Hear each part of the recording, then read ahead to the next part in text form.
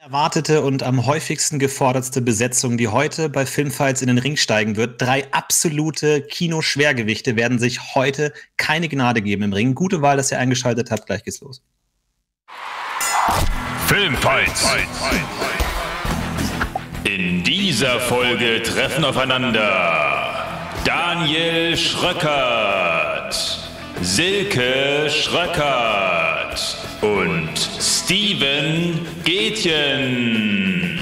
Heute in der Rolle des Judges Florentin Will. Let's get ready to rumble! Herzlich willkommen zu dieser neuen Ausgabe von Filmfight! Yeah. Und natürlich herzlich willkommen an die Kämpfer im Ring. Hallo, herzlich willkommen. Ein absolutes, eine Legende jagt die nächste heute bei uns im Ring. Ich bin sehr, sehr stolz, dass wir es geschafft haben. äh, Wann kommen die denn, Florentin? zu bringen. Tatsächlich seit der allerersten Folge, seit der allerersten Folge Filmfights in den Kommentaren gefordert, seitdem jedes einzelne Mal, jedes Mal gefordert. Normalerweise hält er sich zurück, weil es sonst unfair wäre mit seinem massiven Filmwissen als Fact-Checker. Heute ist er in den Ring gestiegen und wird keine Gefangenen nehmen. Heute bei uns im Ring, Daniel Schröcker! Hallo, hallo, hallo. Und damit es natürlich ein bisschen fair wird, haben wir ihm natürlich ebenwürdige Kontrahenten entgegengestellt. Heute auch mit dabei, man kennt sie vielleicht von ZDF Kultur, von den Filmgorillas. Silke Schröckert ist heute mit dabei.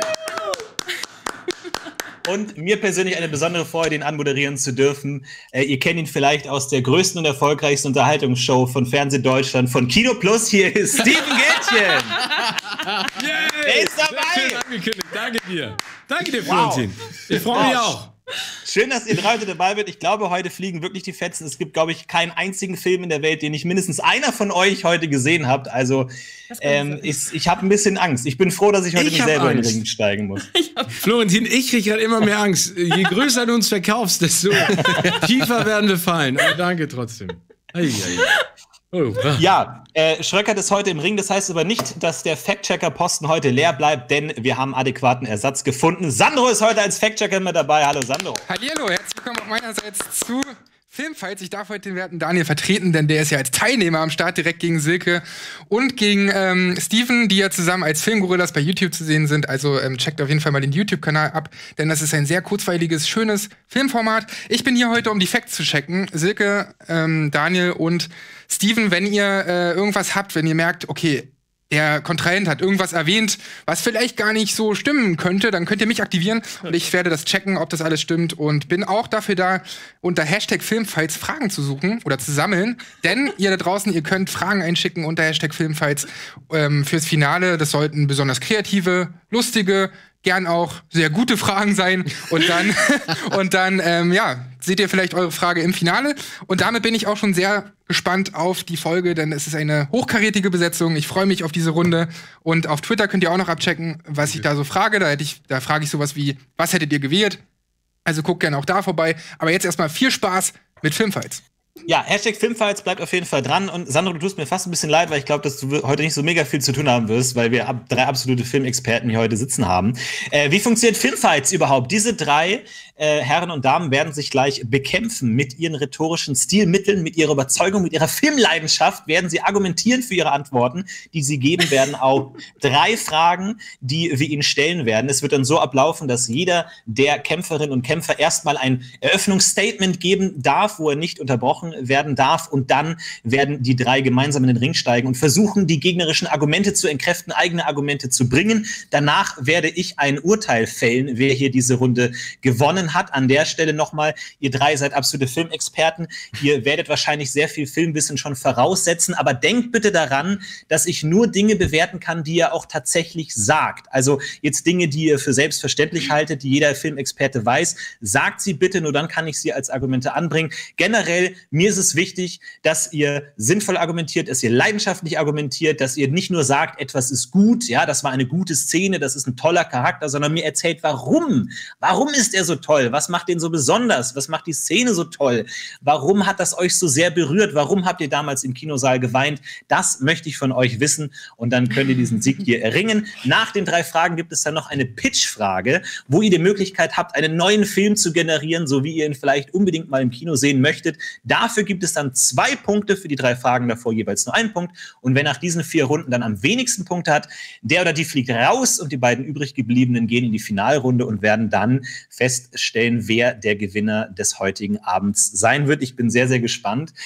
Ähm, ja, seid ihr, seid ihr soweit bereit? Nein. Ist man das jemals? Nee, nein. Aber komm, lass uns anfangen. Ja. ja. Lass uns anfangen. Ich würde sagen, ihr drei seid bereit, seid aufgewärmt. Hier geht's los mit Frage und Runde Nummer eins.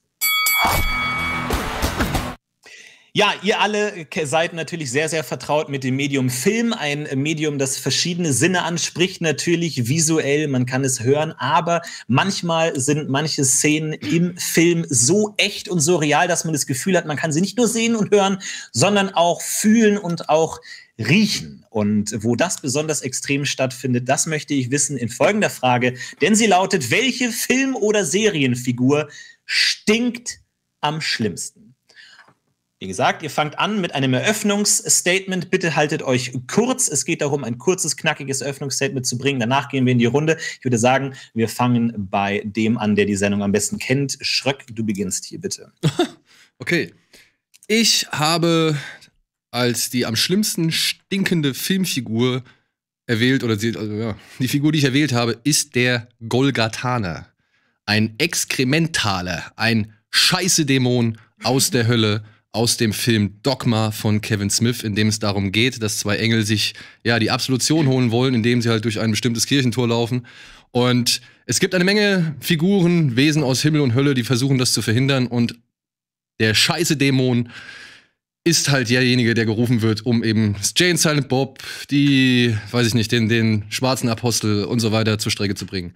Und ja, und dieser Exkrementale, der ist halt einfach ein riesengroßen Haufen Scheiße auf zwei Beinen. Und was stimmt schlimmer als Scheiße? Noch mehr Scheiße. Und dementsprechend, wenn das auch noch Scheiße aus der Hölle ist, kann es keine Filmfigur geben, die so schlimm stinkt wie der Golgathaner. Okay, schöne Antwort. Silke.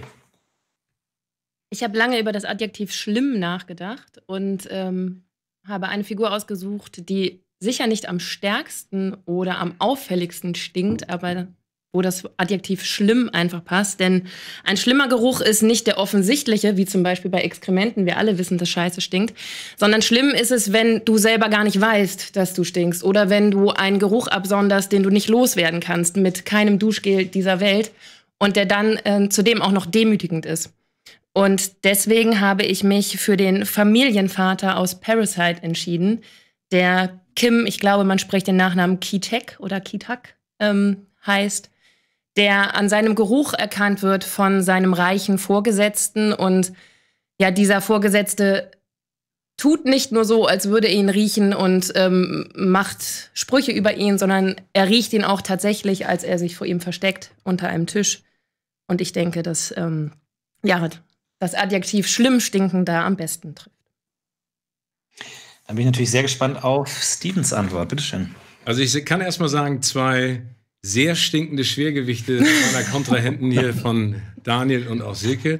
Danke ich habe gleichfalls. mich ganz klar für eine Person entschieden, die nicht nur in Serien auftaucht, sondern auch im Film dargestellt wurde. Und man wird am Anfang denken, wie kommt der Gätchen darauf, dass diese Person am schlimmsten stinken kann?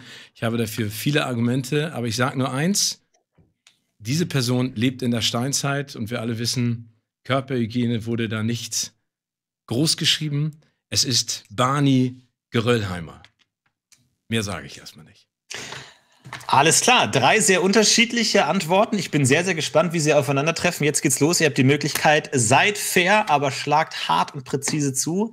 Ich eröffne die Runde hiermit. Welche Film- oder Serienfigur stinkt am schlimmsten? Also ich muss ganz ehrlich sagen, dass der Golgatana, der Scheiße-Dämon, das klingt natürlich echt hardcore, aber ich muss da sagen, dass deine Frau ein sehr gutes Argument aufgebracht hat, weil der Golgatana als Scheiße-Dämon, ne, ähm, ist natürlich prädestiniert, auch am schlimmsten zu stinken, aber das ist so offensichtlich, dass ich äh, dagegen argumentieren würde, dass das definitiv nicht die am schlimmsten stinkende Figur ist, weil ein Dämon per se ja auch aus der Hölle kommend sicherlich böse Absichten hat, aber die böse Absichten durch den Geruch, den man absondert, auch als Scheißehaufen, vielleicht ein bisschen in Mitleidenschaft gezogen werden. Deswegen glaube ich, ist da eher die Abschreckung eines Dämons wichtiger als der Gestank. Deswegen glaube ich, dass der Golgatana an sich stinkt, aber ich kann nur noch mal sagen, dass Barney Geröllheimer aus der Steinzeit, ne, ein sehr freundlicher kleiner Mann, der unterjocht wird von Fred Feuerstein,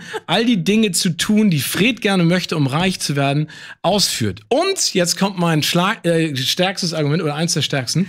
Überlegt mal, wie das ist, wenn man die ganze Zeit ein Mammutfell trägt. Das wird ja nicht gewaschen. Er hat ja nur ein Outfit. Steven. Und ich sag ganz kurz, und dann kannst du gerne weiterreden, Silke. Ähm, ich habe mal, ja, da ist er. Barney, der, er sieht nett aus, aber er stinkt. Und ich möchte gerne eine Geschichte kurz anbringen. Ich habe mal vor Jahren, ähm, vor Jahren, ähm, hier oben äh, ähm, an der Glacis-Chaussee zwei Anhalterinnen mitgenommen, weil es in Strömen geregnet hat draußen. In Strömen geregnet hat. Die haben gestunken. Nein, und ich hatte Mitleid mit ihnen. Und eine von ihnen, ich bin mir nicht ganz sicher, ob es ein Mammutfellpulli war, aber sie hatte einen Wollpulli an. Und hat jemand von euch schon mal einen Wollpulli nach dem Regen gerochen? Ja, das riecht wie Hund. Siehst du. Wie Ja, nasser das Hund. riecht wie Hund. Aber jetzt mal ehrlich, ein, ein Hund ist noch weit erträglicher als ein Riesenhaufen Ja. Scheiße. Aber, Nein, Steven, aber der Punkt Steven ist ja, in der Steinzeit haben alle Menschen gestunken. Du kannst nicht eine Figur aus einer Zeit rausnehmen, in der alle gerochen haben. Dann kannst du auch jede Ja, aber das Figur ist doch aus wie jedem bei dem nehmen. Und jetzt, nee, Figur Moment, Moment, Moment. Jetzt kommen, wir aber, jetzt kommen wir aber mal zu einem wesentlichen Punkt. Ich sehe eine gezeichnete Figur oder ich sehe vielleicht, wenn ich Glück habe, noch Rick Moranis in seinem, Genau. in seinem Studiokostüm. Wo wird mir verdeutlicht, dass der stinkt?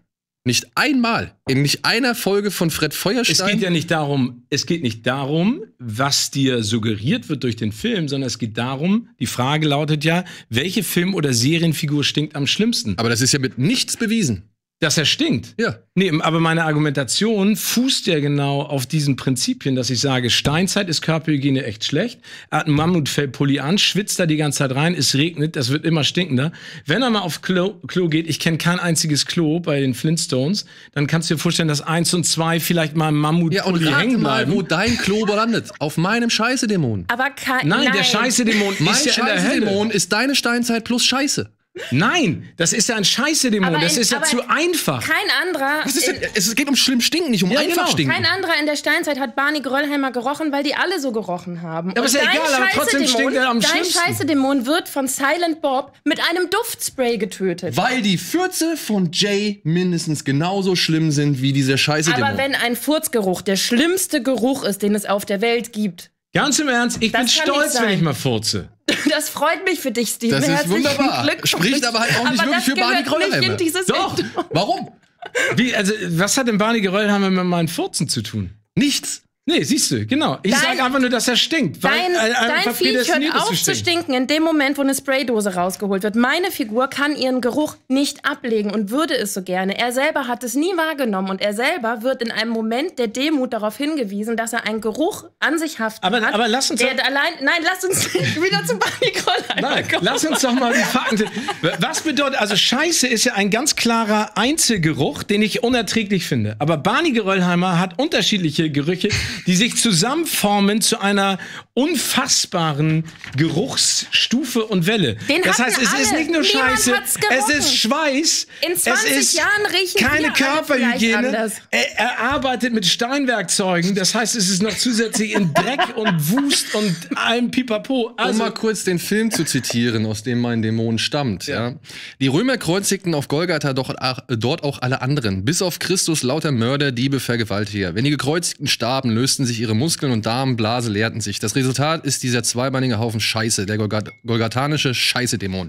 Also, da stammt, da stammt quasi Scheiße aus unterschiedlichster Couleur und sozialer Schicht. Aber und am Ende ist es ja davon. immer noch Es Scheiße. ist alles, was der Mensch jemals verdaut hat. Es landet auf diesen. Auf ja, diesen genau, aber es ist ein alles, was der Mensch Scheiße jemals. Ey, wenn, wenn Scheiße, wir sind alle Eltern, wir, wir wechseln jeden Tag Windeln. Wenn Scheiße wirklich der schlimmste Geruch wäre, dann Siehst du. würden wir alle nicht Da überleben. muss ich deiner Frau absolut recht geben. Und es ist immer noch Moment, ein wir einziger wechseln, Geruch. wir wechseln eine. Nee, aber was ist denn Nein, das nein, nein. Schlimmste? Das nee, Ding ist kennst du, doch- noch- hast du früher mal eine Stinkbombe Äh, gemacht? Steven, ganz kurz, du kannst bitte mal Schröck ausreden lassen, ja? Es ist eine einzelne Windel Entschuldigung. und wir reden hier über Äonen von Windeln. Ja, es potenziert sich. Warst du schon mal bei der, warst nur ein Beispiel. Warst du schon mal oder bist du mal früher an der Astra Brauerei auf, dem, auf der Reeperbahn vorbeigelaufen? Ja. Ja? Da hat's, Häufiger. hat's, da hat's furchtbar gestunken, ne? Weil so viel Bier da war. Mhm. Aber wenn du an einem einzelnen Bier riechst, dann riecht's nicht so schlimm, oder? Ah, okay. Ja? Gut. Aber also du sagst, wenn- du sagst, die Masse macht die, Masse- Klasse, was den schlimmsten Gerüche. Aber ich Masse, sage, die das Vielfalt Alter, der schlimmen die Ur- der Gerüche ist das Schlimmste. Alles. Und jetzt nur eine Sache. Parasite finde ich wundervoll. Es ist absolut richtig, was du sagst. Es ist vor allem auch im Effekt her eine der schlimmsten Gerüche, die dort visualisiert wird. Aber tatsächlich wird sie nur von einer Person im gesamten Film wahrgenommen. Alle anderen nehmen es nicht so wahr oder empfinden es nicht so oder drücken es zumindest nicht wirklich so ja, aus. natürlich drückt seine eigene Familie es nicht so aus, weil sie es auch nicht riechen. Aber es Weil sie selbst so riechen. Und da sind wir wieder bei der Familie. Und das ist das Argument, was du, Harrison, vor, genau, was, du, was du Barney Gröllheimer vorwirfst. Genau. Und die eigene Familie riecht es auch nicht. Es riecht nur Weil der die alle- reiche Schnösel, der morgens parfümiert in die Unterwäsche sagen, es steigt. sind immer nur zwei Gerüche bei euch. Einmal der Körpergeruch von unserem äh, Familienvater aus Parasite und bei dir ist es einfach nur die Scheiße. Und Urin. Wenn das, mit, wenn das es- es Methangas, aus, Scheiße, wenn das Methangas aus. Fäkalien verdampft ist, dann riecht Scheiße gar nicht mehr. Deswegen kann dein Scheißehaufen gar nicht nach Jahrhunderte oder Jahrtausende alte Scheiße stinken, weil alt, alte Scheiße hört auf zu stinken. Aber es kommt ja immer neue Scheiße hinzu. Tagtäglich sterben Menschen, tagtäglich sterben schlechte Menschen und deren Scheiße landet auf dem Golgathaner. Und der Golgathaner stirbt, ich betone es nochmal, wenn er mit Duftspray zugesprüht Und in dem Film. Dann ist er vielleicht ein schwacher Dämon, aber es heißt nicht, dass er schlecht. Moment- Aha, schwacher Dämon. Schwach- Ja, Moment. Schwacher Er kann doch trotzdem schli schlimm stinken. Er wird schon allein, er wird in der ersten Szene, werden schon Leute in Szene gesetzt, die versuchen zu vermitteln, wie übel dieser Typ riecht. Und da, da läuft er nur als braune Brühe aus dieser Kloschüssel raus. Und er ist noch nicht mal im Raum. Er ist noch nicht mal im Raum. Und die Leute fangen schon an, darauf zu reagieren und zu riechen. Und der Einzige, der wirklich gar kein Problem damit hat, ist Jay. Der meint, ey, gehört der Stinker zu uns. Ja, und das ist der Einzige, der wirklich gar kein Problem hat. Und deswegen ist auch der Einzige, gegen der so ein, so ein wirklich effektives Spray braucht. Aber so schlimm kann der ja nicht stinken, wenn Jay kein Problem mit dem Geruch hat. Ja, Jay ist der Einzige. Von mindestens, keine Ahnung, 15 Personen im Raum. Scheiße stinkt, dann machst du das Fenster auf, dann stinkt es nicht mehr so doll. Aber ein Geruch, den du nicht abwaschen kannst, der dich demütigt, der ihn so sehr demütigt, da haben wir lange drüber diskutiert, Ja. dass er am Ende, als er die Gelegenheit hat, seiner Tochter das Leben zu retten, indem er den Autoschlüssel nimmt und einfach mit ihr abhaut und sie ins Krankenhaus fährt, er entscheidet sich dagegen, weil er so verletzt ist in seinem Ehrgefühl, dass er anstatt seine Tochter zu retten, auf den reichen Vater losgeht, der ihn beleidigt Das hat. ist ein moralisch schlimmer Geruch. Stimme ich vollkommen Schlimm, zu. ja. Moralisch schlimm, stimme ich vollkommen zu. Ja, aber das ist die Definition die, Aber dessen, es kann auch ist. nicht so schlimm gewesen sein, dass zum Beispiel nicht auch seine eigene Familie Nee, aber, darauf hingewiesen aber, hat. aber Weil die doch im selben Loch gewohnt haben und deswegen haben sie diesen Geruch alle angenommen und alle Ja, an sich aber, Ja, aber es ist ja wieder die Definition dessen, was schlimm ist. Ne? Ist es der Golgathan, weil er nach Scheiße riecht? Ich finde, auch das erträgst du ja irgendwann. Ist es der Familienvater aus Parasite? der es nicht mehr ertragen konnte. der es nicht mehr ertragen konnte und der moralisch ein Problem hatte. Das war nicht nur ein Gestank, der nach außen drang, sondern der ihn auch selber fertig gemacht hat. Oder ist es der unschuldige Barney Geröllheimer, der nicht nur nach Scheiße riecht, sondern unterschiedlichste grausame Gerüche mit sich trägt. ey, aber nichts, Und in seinem, nichts in seinem Medium deutet aber das, geht, hin. aber das geht doch gar nicht darum, ob das im Medium angesprochen wird, sondern es geht darum, was interpretiere ich als die Person, die am meisten stinkt. Und ich sage dann am Ende, in der Steinzeit, du musst dir vorstellen, in der Steinzeit, da wo Barney Geröllheimer mit Fred Feuerstein und den anderen und Bam Bam gewohnt hat, das war mitteleuropäisches Klima im Sommer, 20 Grad. Das heißt, du hast Dauer geschwitzt. Wenn du das dein ganzes Leben lang im Mammutfell trägst, dann, ich glaube, du wirst einfach immun gegen deinen eigenen Gestank. Außerdem habe ich es ja schon angesprochen, er hat hart gearbeitet, er musste mit dem hier Steinauto die ganze Zeit immer hin und her laufen. Er wurde als Lakai genutzt von Fred Feuerstein, Es um Dinge zu tun. alle. Wer- Okay. aber- Ja, aber trotzdem, aber ich sage ja, aber er ist derjenige, der am genügsamsten ist. Fred war ja die ganze Zeit nur angezündet. Aber Fred, ich glaube, dass Barney gesagt hat, ich stinke, aber ich genieße mein Leben. Barney und Papa Ja. Parasite stinken unter ihresgleichen einfach nicht. Wohingegen der Scheißedämon für alle stinkt. Außer vielleicht Gut, für eine einzige. also ich glaube, wir haben genug gehört. Ähm, äh, ich habe äh, das schon mal gehört, auf jeden Fall. Äh, vielen, vielen Dank für diese für, äh, Runde auf jeden Fall. Ich glaube, man hat es äh, förmlich äh, gerochen, wie ihr das fantastisch beschrieben habt. Äh, großartig. Äh, tolle erste Runde. Ich fand äh, sehr, sehr schöne Antworten, auf jeden Fall. Ähm, ich, äh, ich weiß nicht, kann Sandro noch irgendwelche Fakten überprüfen davor, was äh, noch passiert ist? Sandro, bist, hast du aber irgendwo die Nase gespitzt, was da falsch beschrieben wurde? Stinken Mammuts wirklich so, wie Steven behauptet?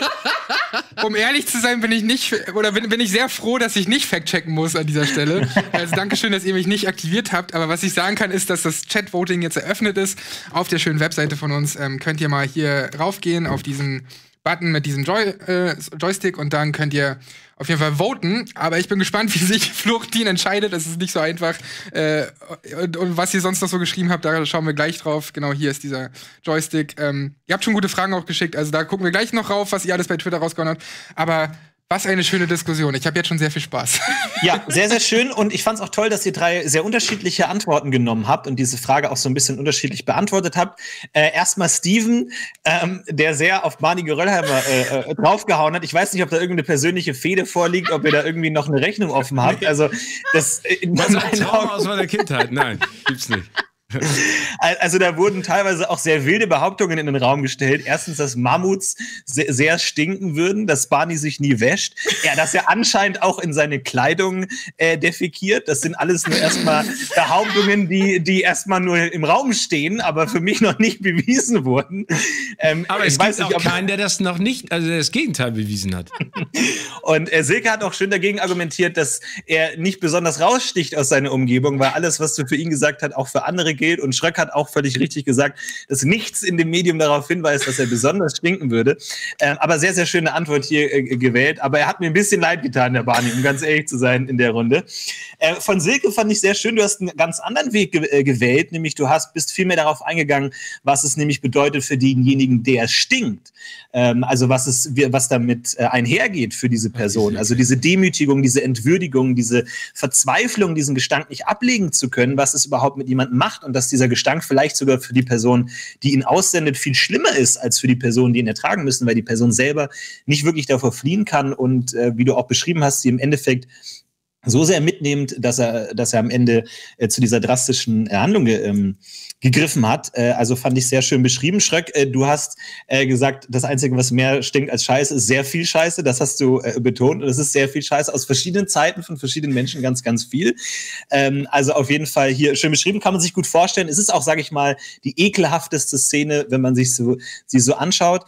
Ähm, Silke hat äh, dagegen argumentiert, dass äh, es zwar ein äh, Gestank ist, der schlimm ist, aber leicht besiegbar ist. Man kann ihn einfach wegsprayen und somit kann es eigentlich nicht so wahnsinnig Schlimmes sein und es im Endeffekt eigentlich auch nur Scheiße ist, mit der wir jede, jeden Tag tagtäglich intensiv zu tun haben.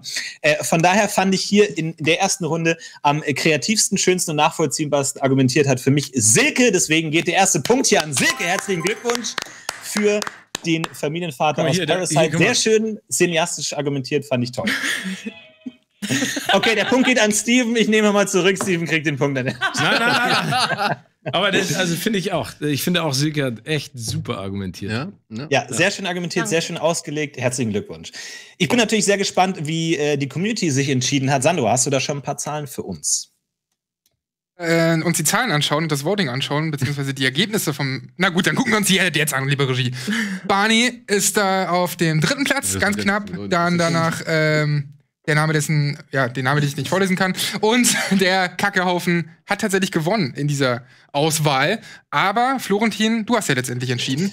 Wow, ich finde es ich find's faszinierend, dass Barney immer noch gnadenlose 28 Prozent kriegt. Ey, aber ich- okay, es scheint anscheinend, viele haben ein Problem mit Barney. Ich habe auch noch was zu Barney zu sagen, denn äh, einige haben mich darauf hingewiesen, dass ja tatsächlich auch ähm, es Duschen gab für Barney. Und zwar hier sehen wir es. Ich habe Ist das ein reinlicher Mann. Ah, guck mal. Ja, zum einen Aha. das und hier gibt's auch noch zwei weitere Bilder. Bei den Flintstones gibt es Seife und Duschen. Deswegen sagen die Leute auch, ich muss Steven Gätchen leider widersprechen, weil sie in der Welt von Fred Feuerstein schon in der Steinzeit Duschen hatten. Deswegen Aber das kann ist Barney super. gar nicht Dann- gestunken haben. Aber das Aber dann haben wir das Mysterium um Barney Geröllheimer geklärt. Ich danke euch sehr. Dass uns alle so Und ich habe beschäftigt hat. keinen Beef mit Barney. Okay. Ich habe keinen Beef. Ich wollte nur ähm, nicht, nicht in diese Entscheidung reinreden vorher, bevor, äh, bevor Florentin sich entschieden hat. Ähm, was die Leute sonst noch so gesagt haben, ja, hier wunderbares Zitat von Steven Gätchen, ich bin stolz, wenn ich mal furze. also only at Filmfights, sage ich mal. Ähm, wo sonst könnt ihr solche tollen Zitate hören? Die erste Runde von Filmfights hat schon Kultpotenzial, sagt auch jemand auf Twitter. Also die erste Runde war schon sehr, sehr spaßig. Und wir können mal gucken, was ihr sonst noch so gewählt hättet. Ähm, da wurde zum einen auch erwähnt Chewbacca. Zum einen Chewbacca im Regen natürlich, weil er ja viel Fell hat. Oder auch Aber guck mal. Müllschlacht. Dann war ich mit dem Mammutfell ja gar nicht so weit weg, wenn jemand sagt, Chewbacca stinkt auch. Ja, guter Punkt. Und ähm, was, Ja, guck mal. Schröck wollte gerade was sagen. was für mich auch ein guter Punkt ist, hier der Pinguin aus Ja. Batmans Rückkehr, da der ja die ganze Zeit im Abwasserkanal lebt, das muss auch wahnsinnig stinken. Also das wäre auch ein guter Pick gewesen. Aber ich finde, ihr hattet alle drei tolle Picks und ähm, Glückwunsch Silke für den ersten Punkt. Dankeschön. Da Ja, herzlichen Glückwunsch. Aber es ist noch nichts entschieden. Wie gesagt, wir haben noch eine ganze äh, Reihe an Fragen vor uns, unter anderem in Runde Nummer zwei. Ja, ihr drei schaut äh, jede Woche, jeden Tag äh, Filme. Ihr habt wahrscheinlich schon unendlich viele Filme gesehen. Ihr kennt wahrscheinlich sehr spezielle, individuelle Filme, die ganz besondere Dinge machen. Aber wenn man viele Filme sieht, dann fallen einem natürlich auch Dinge auf, die sich immer wieder wiederholen und bei denen man anfängt, die Augen zu rollen, wenn sie dann immer und Ah, immer wieder kommen. Ihr werdet wahrscheinlich tagtäglich dann von gefoltert werden. Und genau darum geht es in unserer zweiten Frage, die da nämlich lautet, welches ist das nervigste Filmklischee, die nervigste Trope, was ihr absolut nicht mehr sehen könnt, wo ihr am liebsten sagen würdet, das darf nie wieder in einem Film vorkommen. Ich bin gespannt auf eure Antworten. Wir fangen mal mit Silke an. Was mich am meisten äh, in Filmen nervt, egal welchen Genres, ist, ähm, dass es keine normalgewichtigen Frauen gibt. Es gibt entweder Supermodels und das sind die Hauptdarstellerin, die Nebendarstellerin. Jede Frau hat eine Supermodelfigur. Oder es sind übergewichtige Frauen und dann ist es auch direkt Thema des Films, dass sie übergewichtig sind. Es gibt nur Frauen, die 55 Kilo wiegen oder 150 Kilo und es gibt keine einzige Frau, die 75, 80 oder 85 Kilo wiegt. Und das fällt mir immer wieder auf, spätestens wenn die Frau sich entkleidet und ich denke, ach, die hat kein Gramm Fett an ihrem Bauch. Steven, was regt dich auf? Also ich bin gar nicht so philosophisch wie die Silke rangegangen. Ich merke gerade, dass meine Tipps äh, in eine andere Richtung driften. Ich, also es gibt viele Filmklischees, die mich stören. Ich bin jetzt auf eins eingegangen, ähm, das ich interessant finde, weil ich es auch komisch finde. Es ist ein Filmklischee, dass Telefonate äh, nie einen Anfang und ein richtiges Ende haben. Also sagt in einem Telefongespräch nie jemand am Ende Tschüss sondern oder auf Wiedersehen, sondern äh, die enden immer im entweder wird aufgeknallt oder äh, also auf jeden Fall es gibt kein normales Telefongespräch im Film. Okay, Schreck. Okay, ähm, mein nervigstes Filmklischee ist tatsächlich auch ein bisschen weitläufig, denn es kommt fast in allen Genres vor oder in allen, weiß ich nicht, Spielarten des Films. Es sind die sogenannten für mich, ich nenne sie jetzt einfach mal so Erklärungsdialoge. Dialoge, die kein Mensch führt, aber die dem Zuschauer irgendwelche wichtigen Informationen geben. Das kann entweder der Bösewicht bei James Bond sein, der nochmal kurz seinen Monolog halten muss, weil er irgendwie Bond beweisen will, wie geil er ist. Das kann aber auch die beste Freundin sein, die sagt, ach, hast du dich nicht letzte Woche von ihm getrennt, nachdem er irgendwie fünf Tage lang mit einer anderen Frau unterwegs war, die auch noch an Krebs leidet und du deswegen nicht ein schlechtes Gewissen kriegen wolltest. Und es können aber auch solche Sachen sein, wie irgendwie der allwissende Erzähler oder eben halt sowas wie der Architekt bei Matrix, der dann plötzlich nochmal auf äh, einem Drittel, nee, nach zwei Drittel des Films auftaucht und das Ganze für, ja, die Leute zusammenfasst, die noch nichts verstanden haben. Und ja, diese Erklärdialoge führen meistens zu sehr krummen Ergebnissen und halt zu Gesprächen im Film, die ein normaler Mensch eigentlich nie finden würde oder die halt auch in ihrer Häufigkeit ziemlich viel, ja, also einfach stören. Erklärdialoge. Drei nervige Klischees, die Runde ist frei. Fight! Ich brauche die Erklärdialoge, sonst würde ich dich die ganze Zeit fragen und im Kino stören, weil ich nicht immer alles sofort mitbekomme. Und dann freue ich mich, wenn es nochmal für den dümmsten anzunehmenden Zuschauer, ja, das bin in dem Fall ich, erklärt wird, weil ich sonst nicht folgen kann. Ich sage ja auch nichts gegen ein. Ich sage ja einfach nur gegen die Häufigkeit und halt auch wirklich die Regelmäßigkeit, in der Filme diese Erklärdialoge er- also positionieren. Da kannst du die Uhr nachstellen. Also wie, wie, wie leicht willst du es dir noch machen? So, ich, ich, ich verstehe, dass man. Glück. Ich verstehe, dass man bei gewissen Filmen hier und da einen erklärenden Part braucht. Das will ich auch gar nicht sagen. Aber eine der größten und ja, wichtigsten Regeln im Film heißt Show, don't tell. Und das hat schon Sergio Leone 1966 mit The Good, The Bad, The Ugly klar gemacht, als dieser Revolver-Typ da reinkommt. Tuco sitzt in seiner Badewanne und er stellt sich hin.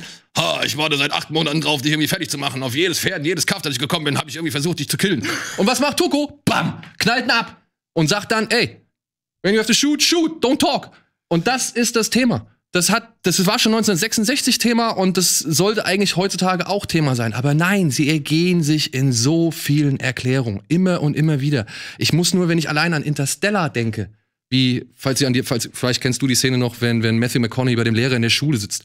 Da sagt er, Sie, Sie sind ein intelligenter Mann und Pilot und Ingenieur. Ja, aber wir brauchen keine Ingenieure, wir brauchen Farmer. Ja, aber ich kann doch meinen Sohn irgendwie nicht nach anhand einer Zahl bewerten. Aber wir müssen doch über ihre Tochter reden. Wieso? Ich habe ihr doch nur ein Buch, Buch mitgegeben, das noch ungeschnitten ist. Damals, als irgendwie wir wirklich noch sagen konnten, dass die Amerikaner auf dem Mond waren. Ja, das haben wir nur erzählt, damit die Russen irgendwie den Wett Wettlauf starten. Oh, geil, dass wir so fasziniert gerade zuhören, wenn du eine aber weißt du-. Aber ich Weiter, gebe weiter. zu, der Dialog nervt gerade. Das sind drei Minuten, in denen komplett die gesamte Welt einmal erklärt wird. Anstatt Ja, dass Nolan ein Bild dafür zeigt. Also ich, ich glaube, also entweder machst du deine Hausaufgaben als Filmemacher nicht richtig und dann musst du diese Erklärvideos einsetzen und ich finde Christopher Nolan und Interstellar sind halt ein Beispiel, das ist hinkt ein ein bisschen. Beispiel, ne? Ja, also es gibt genügend äh, äh, Erklärvideos. Ich, ich bin da, äh, sag ich mal, ein bisschen zwiegespalten, weil manchmal finde ich es gut. Ne? Weil manchmal finde ich, fasst es vielleicht nochmal eine emotionale Situation zusammen, auch inhaltlich, dass man nochmal abgeholt wird.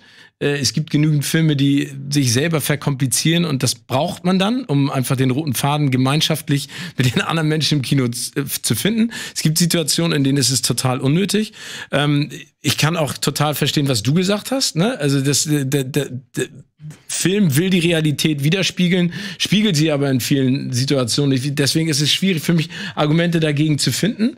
Äh, ich glaube, das ist ja immer das Ideal, dass man etwas angucken möchte. Das ist dieses Klischee, ne, das ist die dicke Freundin von der Hübschen und äh, sie hilft ihr und am Ende werden dann alle irgendwie doch glücklich.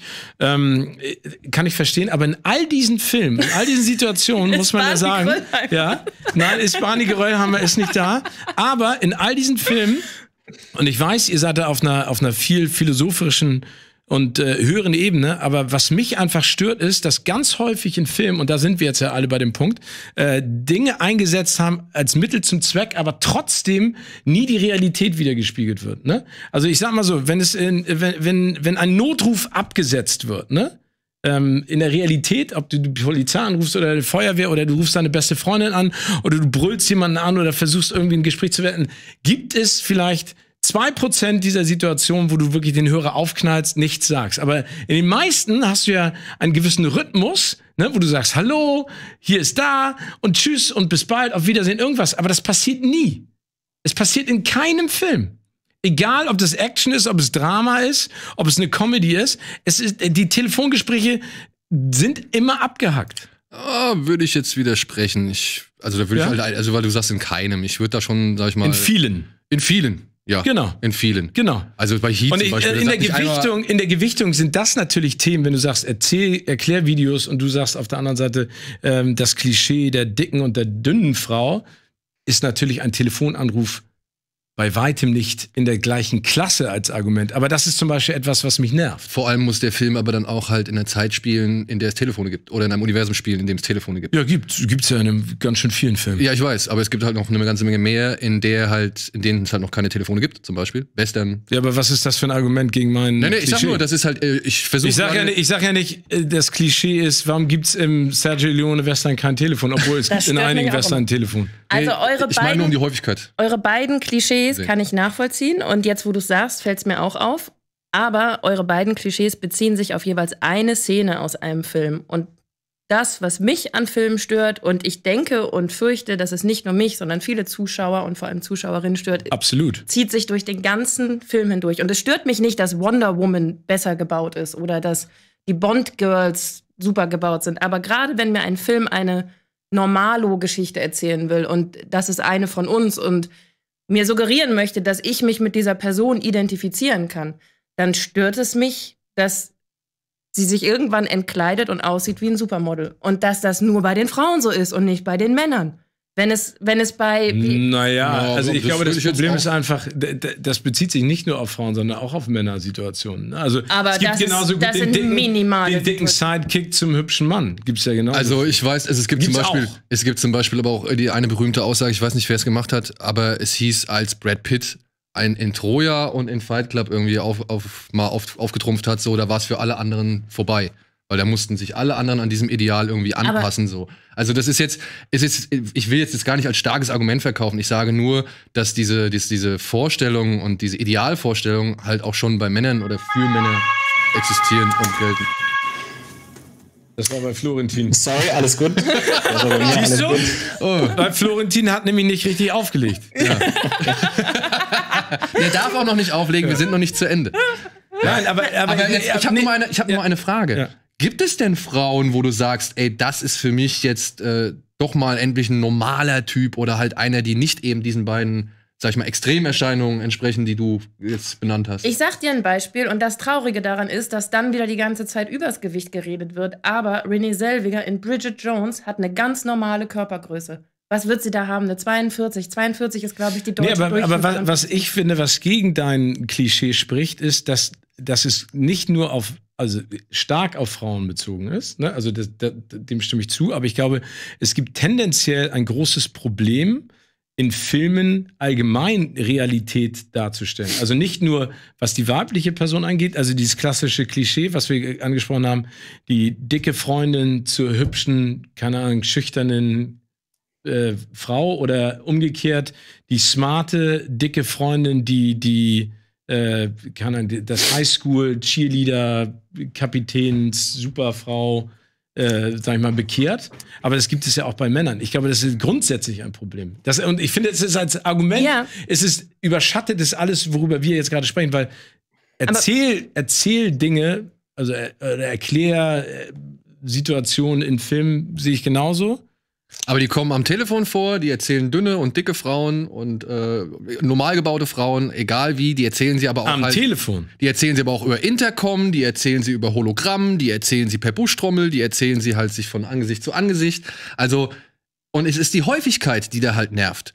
Und in fast, egal welchen Film ihr aufgezählt habt, es kommt in jedem Film vor. Sehe ich genauso. Aber am Ende, ich, wie gesagt, da- das sind zwei, Und das sind in zwei Filmen, große halt Batzen, Frauen aber vielleicht ich finde, es gibt, so es gibt ja auch Kleinigkeiten, die mich manchmal stören. Und äh, diese Telefongeschichten, das klingt jetzt total banal, aber es nervt mich.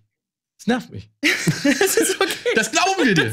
Das glauben wir dir absolut. Es nervt uns auch, aber es ist nur eine Szene in einem Film. Und es ist sag ich ja. nicht der Deswegen ganze sag ich ja, Film ich, ich, und alle ich pick Filme. mir eine, eine Kleinigkeit raus und, und du kommst gleich. ja, Und du Ich auch. nut- ich nutze die Chance, es ist ein wichtiges nein, es, Thema. Nein, es ist auch ein wichtiges Thema. Und ich, wenn sich, ich, ich, wenn ich sich Ryan Gosling auszieht, in, wie heißt der Film? Crazy Stupid Love. Love. Der zieht sich aus und sie hüpft vor ihm rum und sagt, oh, bist du gefotoshoppt, bist du gefotoshoppt, sowas habe ich noch nie gesehen. Niemals, wenn sich eine Frau im Film auszieht und aussieht wie ein Supermodel, wird das irgendwie thematisiert, dass sie aussieht wie ein Supermodel. Und dabei sehen die alle, die haben alle Das keinen Gramm. stimmt nicht. Also ich sag zum Beispiel, einfach ein Beispiel, beim ersten Mal mit Catherine Heigl und Seth Rogen. Ja, da sind sie, landen sie nach der Disco-Nacht, landen Ja, sie in der stimmt. Kiste Ja, ja. und dann zieht er sie aus und er zieht sich aus und er sagt, Longshot ja, Longshot. Ja, Longshot zum Beispiel auch. Und dann sagt er, boah, du bist so viel hübscher als ich. mit Charlie Stan und Seth Rogen. Die ist auch hübscher als er. Ja, ist doch so. Viele Menschen sind hübscher als er. Seth Rogen. Als Seth Ja, Rogen. es ist doch. Es wird doch thematisiert. Ja, aber das ist doch, es geht doch um den Körperbau. Und darum, Ja, was soll denn sagen? Darum, dass sie eine Mann, bist du 32 wundervoll mitteldurchschnittlich. Nein, es geht, es geht nicht um hübsch oder schön und um Gesicht und Haare. Es geht darum, dass die eine Kleidergröße 34 hat. Und der sagt nicht, oh, ist deine Taille gefotoshoppt, du bist so schlank und wohl schlank und Aber dann, dann sprichst du ja ehrlich gesagt eher über den, den noch vorherrschenden, auch ganz klaren Sexismus in, in diesem Film. Das ist ja nicht nur das Klischee, sondern es ist ja auch, sagen wir, die, die, diese, diese Pseudo, Pseudo-Rolle, die jedem aufgedrückt wird. Also da, das ist ja fast Weinsteinesk. Ne? Also der, So weit wollte ich heute Nein, nicht. nein, nein, aber, aber, das, da, aber darum geht's ja im Prinzip. Und da äh, gebe ich dir auch recht. Also diese Klischees kotzen einen auch an. Aber manchmal machen es ja auch die Kleinigkeiten. Es ist wie in einer Schweizer Armbanduhr. Ne? Das Gehäuse mag funktionieren, aber wenn ein kleines Rädchen nicht passt, kannst du die Uhr wegschmeißen. Also du findest einen Film scheiße, wenn diese Telefon Nein, aber ja. es geht dann, nein. Ich schalte, ich schalte kein, nee, guck mal, das ist der Unterschied. Ich schalte keinen Film aus, nur weil die das Telefonat nicht richtig beenden. Es nervt mich.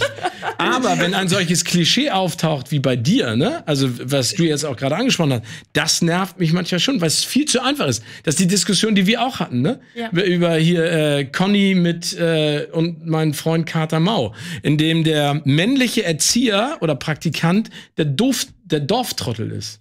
Im Und nur Erklärdialoge von sich abgibt. und nur, ja, und nur Erklärdialoge von sich abgibt. Und nie ans Telefon geht. Steven, Steven Ja. könntest du mir den Gefallen tun und mal vorspielen, wie das klingen würde, wenn ein Telefonat in einem Actionfilm realistisch beendet werden würde? Ja, ich könnte, also stell dir mal vor, Expendables, äh, Sylvester Stallone ruft Arnold Schwarzenegger an. Es klingelt. Es klingelt. Ja, hallo? Hier ist der Arnie. Ja, äh, hallo, Arnie, hier ist äh, Sly Stallone. Du, wir haben einen neuen Auftrag und äh, du musst die ganze Bande kurz zusammenklöppeln. Also hier Dolph äh, ist im ersten Teil noch dabei, danach ist er raus. Jean-Claude Van Damme, Bruce Willis kommt auch noch dazu. Äh, ja, jetzt lass mich doch mal. Mickey Rourke. Ähm, und äh, denk dran, setz noch mal kurz einen Tee auf. Ich komme gleich bei dir vorbei. Tschüss, ich freue mich, dich gleich zu sehen.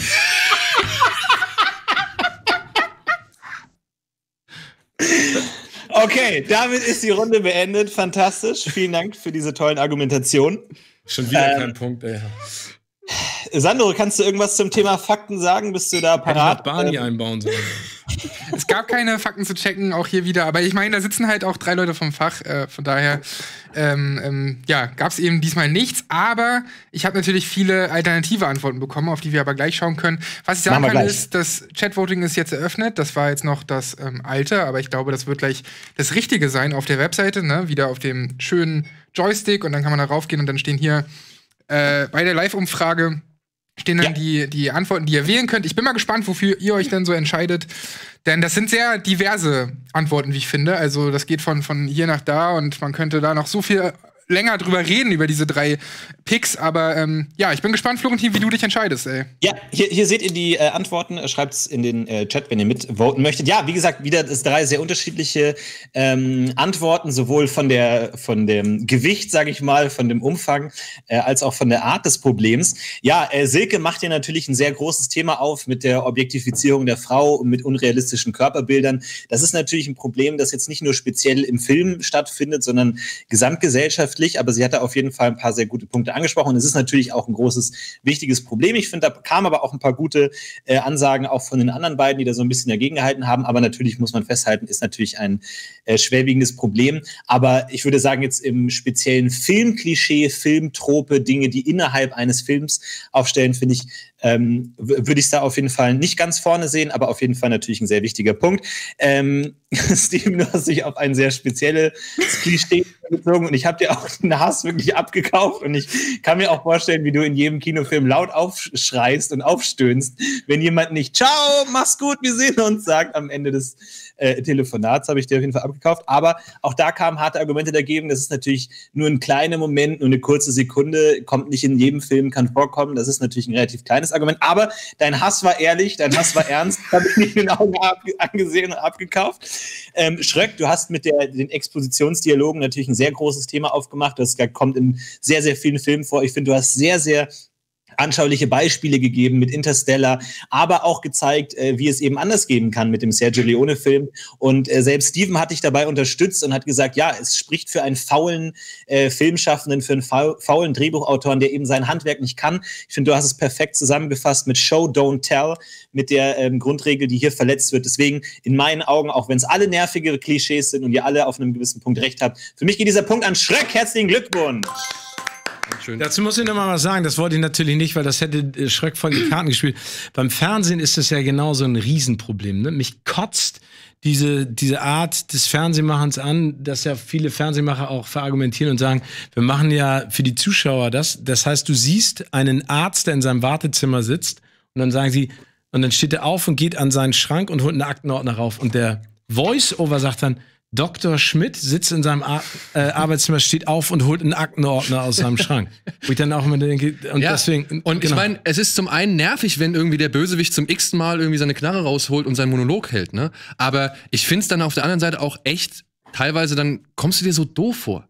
So als würde dich der Filmmacher halt echt null ernst Ja, aber nehmen. wei weißt du, zum Beispiel Erklärvideos, ich, das hätte ich im Nachhinein, ich hatte das nämlich auch auf meiner Liste, weil, was mich nämlich zum Beispiel noch nervt als Klischee, Florentin, das kannst du vielleicht so als Punkt Ha- 1, halber 2, Punkt, 3. ja. Mhm. Nee, aber ist, ist euch mal aufgefallen, dass wenn die News eine Rolle spielen, passt es immer perfekt? Ja, das, wollte, das hätte ich mal sagen Er sollen. schaltet den Fernseher er schaltet den Fernseher an und, und dann, allem, das Ding ist, da ruft ja einer an, der sagt, schalt die News ein. Das heißt, er muss schon eigentlich gesehen haben, worum es geht. Genau. Und dann wenn schaltet er es an erstmal und die dann- News einschaltet, Oh Mann, dann müsste es eigentlich schon längst vorbei sein. Nein, aber der, ah, der, der, der Beitrag fängt genau da an Genau. und geht noch mindestens drei Minuten weiter, Genau. sodass auch wir Nee. alle verstehen. Oder, oder in den Katastrophenfilmen ist immer so geil.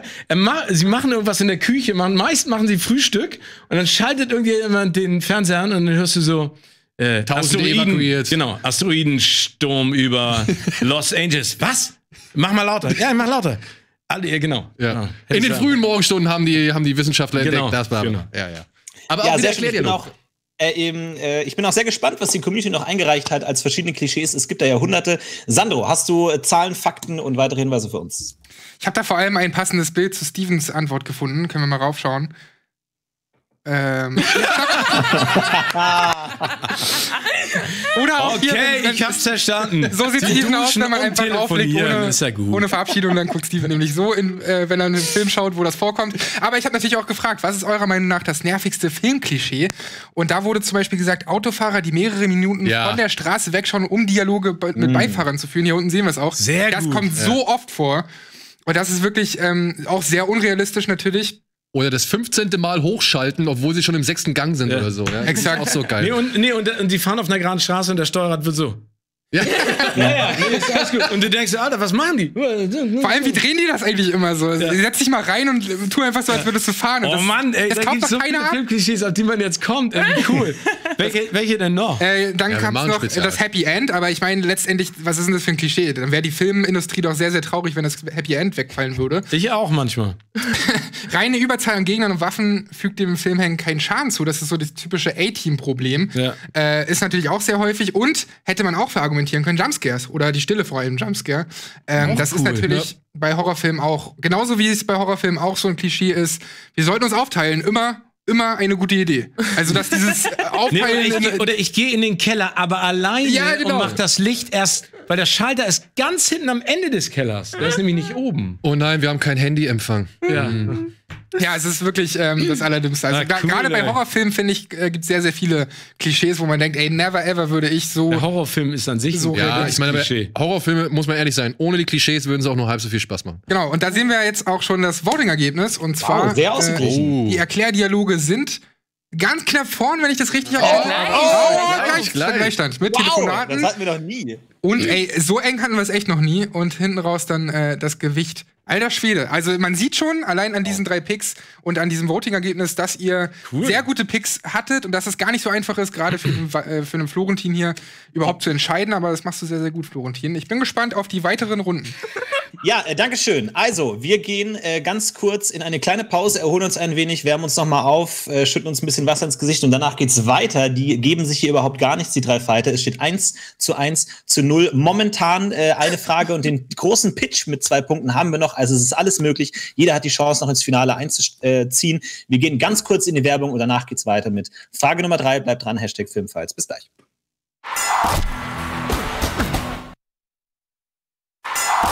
Filmfights. Herzlich willkommen zurück bei Filmfights mit einer absoluten Premium-Besetzung heute. Wie läuft's bei euch im Ring? Seid ihr mittlerweile warm? Wie schaut's aus? Jawohl. Ja, ja no, jetzt, ne? Ja. Guck mal, guck mal. Sehr gut, freut mich. 1 zu 1 zu 0 steht's noch. Steven, äh, noch keinen Punkt geholt. Nö. Ich bin sehr gespannt, wie du dich. ich bin sehr, sehr, sehr gespannt, wie du dich schlägst. Hier in Runde Nummer 3.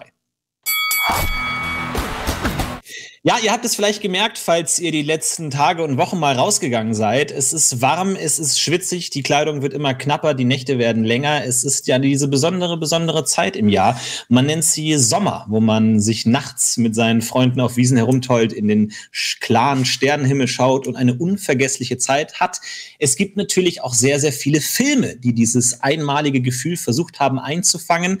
Und äh, nach denen fragen wir jetzt in Frage Nummer drei, da lautet, welcher ist der perfekte Sommerfilm? Es liegt natürlich im Ermessen der Kämpfer, das zu interpretieren. Also entweder ein Film, der im Sommer spielt, der den Sommer perfekt einfängt, der, den man persönlich mit Sommer am besten verbindet. Ich möchte wissen, warum ist dieser Film, den ihr gewählt habt, der beste Sommerfilm? Steven, du fängst an. Welchen hast du dir ausgesucht?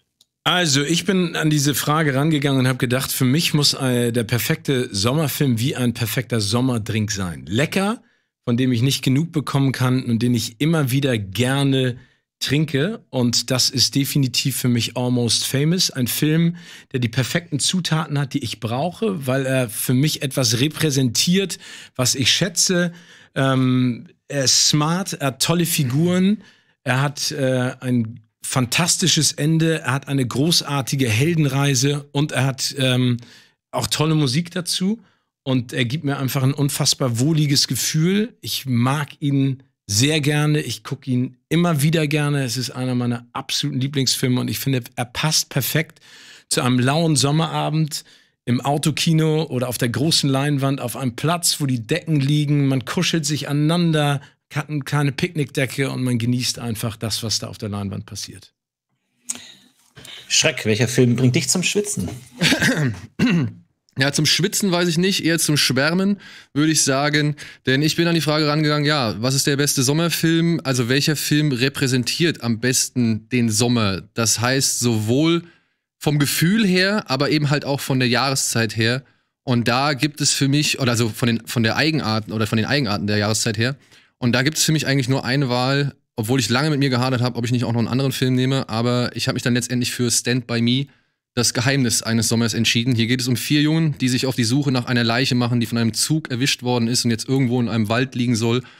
Und die vier brechen halt, äh, haben die Eltern belogen und brechen halt auf in eben, ja, in eben ein Abenteuer, in das Abenteuer eines Sommers mit all seinen Gefühlen, mit seinen Ängsten, mit seinen Hoffnungen, mit seinen Erwartungen, aber eben auch mit all seinen Schönheiten, die eben ein Sommer zu bieten hat, wie das Schlafen unter freiem Himmel, das Spazieren auf Schienenstrecken oder halt auch das Grillen von irgendwelchen Marshmallows am Lagerfeuer und so weiter und so fort. Und deswegen finde ich nicht nur gefühlstechnisch, sondern auch optisch fängt dieser Film den Sommer am besten ein. Silke, welcher ist es bitte geworden? Äh, ich bin nochmal anders an die Frage rangegangen und ich habe überlegt, welcher Film fängt das Gefühl diesen und diesem Sommer, der ja etwas kurios für uns alle ist, am besten ein, also der Sommer 2020.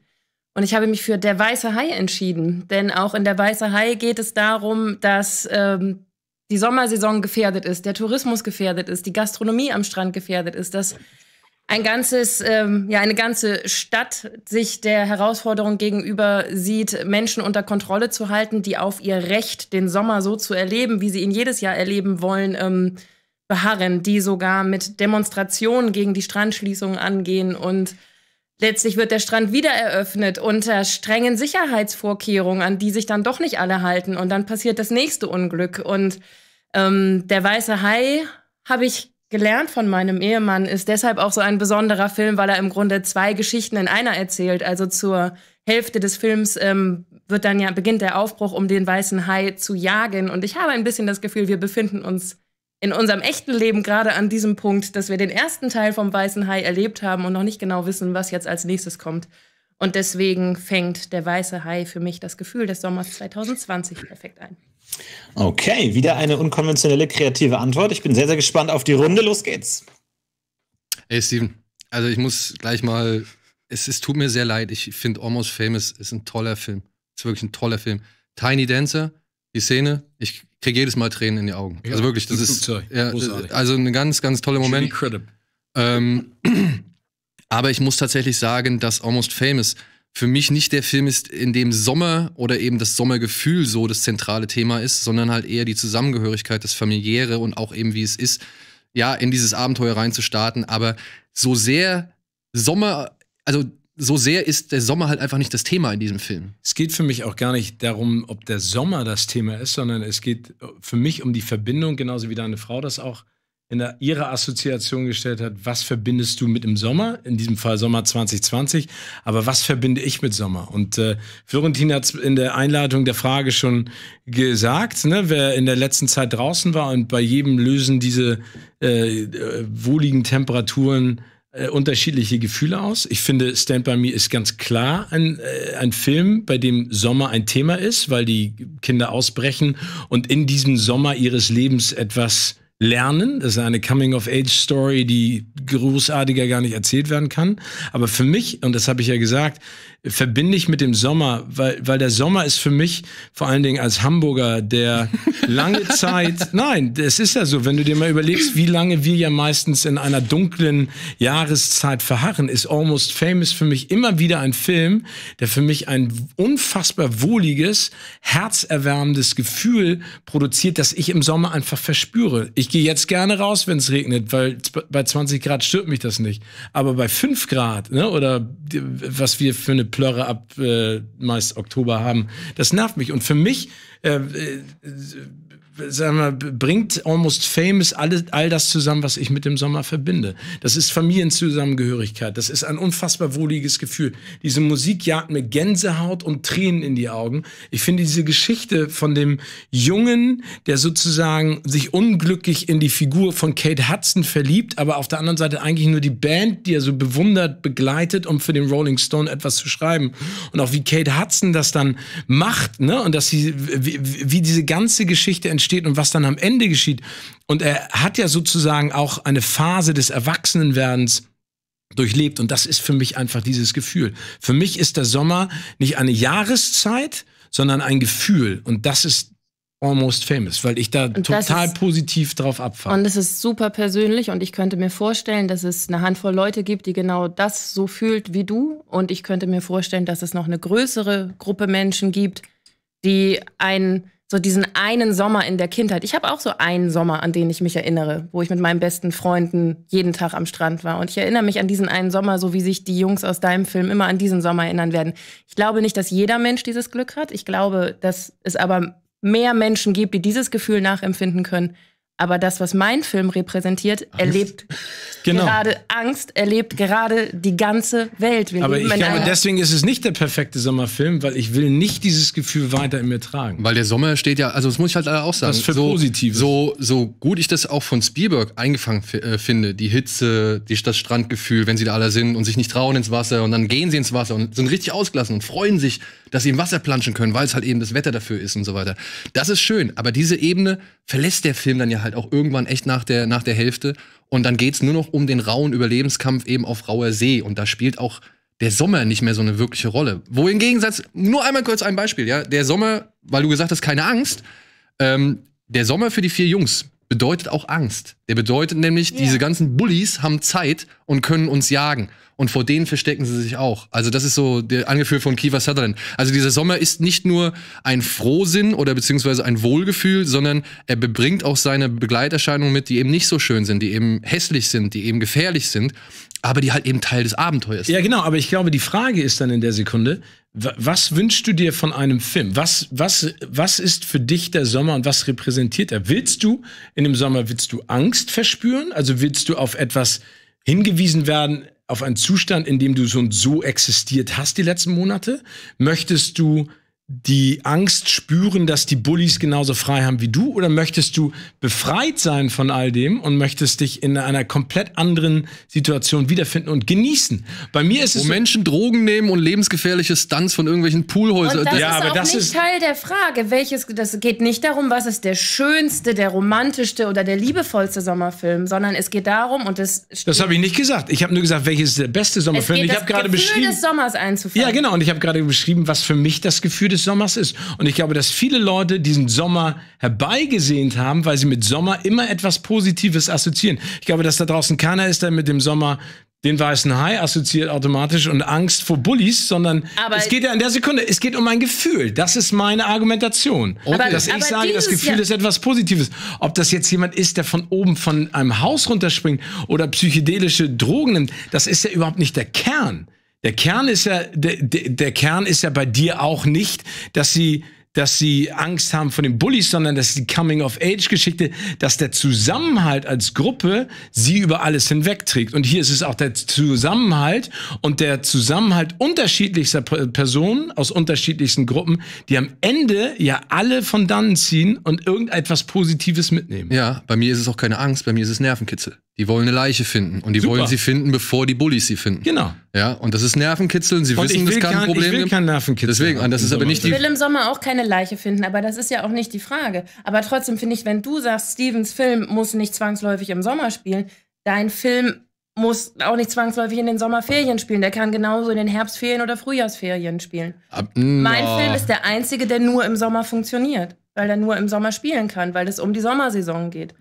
Nee, das würde ich auch nicht Aber du sagen, kannst ja weil im Winter zum Beispiel nach Südafrika lass- fliegen und hast auch. Wasserhaie. Steven, Steven, lass Schreck mal bitte antworten auf den. ähm, das würde ich jetzt nicht sagen, weil es ist tatsächlich ein entscheidender Schritt, dass es dieser Sommerfilm ist, weil es ist nämlich die Situation, dass die vier Jungs danach wahrscheinlich komplett andere Wege gehen werden. Also es ist wahrscheinlich der letzte Sommer, den sie allein miteinander verbringen. Und das passiert nur mal zwangsläufig nach den Sommerferien, dass man da auseinandergeht. Also muss dieser Film im Sommer spielen, weil sie eben die Freizeit, die Zeit brauchen und auch das Wetter brauchen, um draußen überleben zu können, beziehungsweise um sich draußen aufhalten zu können ohne dass die Eltern auch Verdacht schöpfen. Das ist ja auch wieder ein Bestandteil der ganzen Geschichte. Also ich glaube nicht, dass wir unsere Kinder im Frühjahr oder Herbst oder sonst irgendwie ähm, so bereitwillig in die, in die freie Natur entlassen würden, wie jetzt. Frühjahr äh, oder im Herbst lasst ihr eure Kinder nicht in die freie Natur. Nein, aber jetzt über mehrere Tage un unbewacht und sonst irgendwas.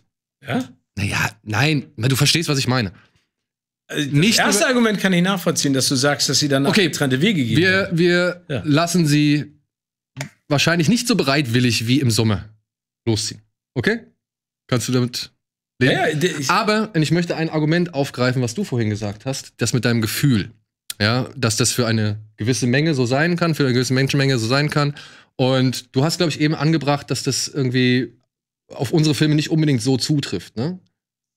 was habe ich gesagt? Nee, ich habe gesagt, dass das Gefühl, also das, äh, weil du hast ja verargumentiert, und das ist ja das Argument auch von Silke, dass du sagst, das Gefühl, was wir in diesem Jahr haben, passt perfekt zu der Weiße Hai in unterschiedlichster Situation, weil du gesagt hast, Angst, äh, ne, wir demonstrieren gegen bestimmte Maßnahmen, wir wissen aber auch nicht, wie es weitergeht. Das ist ja etwas, was momentan stattfindet, aber was ich nicht mit dem Sommer verbinde. Aber Äh, mit diesem Sommer verbinde ich es schon. Ja, aber das ist ja, also, aber ich möchte ehrlich gesagt auch, wenn ich weiß, wie die letzten Monate waren und wie ich mich gefühlt habe, wie alle sich gefühlt haben, möchte ich in diesem Sommer nicht damit sozusagen einhergehen, sondern ich möchte gerne etwas komplett, Etwas Schönes. etwas Schönes haben.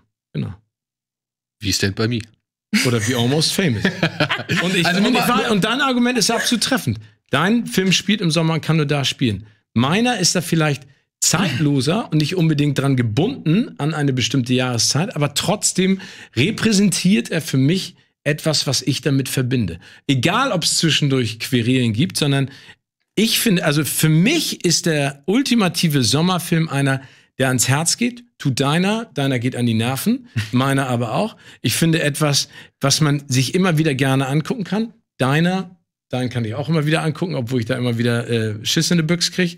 Ähm, ich finde, die, die Figuren sind großartig. Ich finde, die Musik ist zusätzlich ein großer Treiber bei Almost Famous, der das Ganze einfach immer noch zusätzlich Aber es hat verstärkt. tatsächlich alles nicht so wirklich was mit Sommer zu tun. Und dein Warum Film. hat es nichts mit Sommer zu tun? Naja, okay, es repräsentiert den Sommer, aber Genau. es ist tatsächlich nicht unbedingt etwas, was nur den Sommer Aber die repräsentiert, Frage ist sondern ja, alles welcher andere. ist der beste Sommerfilm? Genau. Das heißt ja nicht, welcher Film äh, Und pass auf. den Sommer am besten Und ich dar. sage jetzt einfach, ich, ist mein, ist es mein vielleicht Eindruck, der da ein bisschen getäuscht ist, aber Sommer wird halt in diesem Film nicht so wirklich repräsentiert, wie zum Beispiel in Der Weiße Hai oder eben wie in Stand By Me, wo du halt wirklich tolle Landschaftsaufnahmen hast. Du hast die Situation Aber nach das ist nicht die Frage. Und das möchte ich auch gerne nochmal sagen. Es der beste Sommerfilm, aber es geht doch auch in dem Film darum, etwas, ein Gefühl zu vermitteln, was ich nicht nur anhand von Musik oder dem Zusammenhaltsgefühl oder sonst irgendwas habe, sondern, Genau. sondern das kann ich ja auch im Winter Aber das ist ja kein Argument gegen meinen Film. Ich sage nicht, dass es ein Argument gegen deinen Film ist. Ich sage, sondern es ist ein Argument, das stärker für meinen Film oder für Silkes Film spricht, dass da halt auch eben der Sommer bildlich besser eingefangen und abgebildet abge ähm, wird und halt auch, sage ich mal, den Zuschauer einnehmend, sage ich mal, in Szene gesetzt wird. Dass der Zuschauer nachempfinden kann, dass es da heiß ist, dass es da schwitzig ist, dass es Ja. da irgendwie. Mich würde noch interessieren, in welchem Film die Telefonate am besten beendet werden.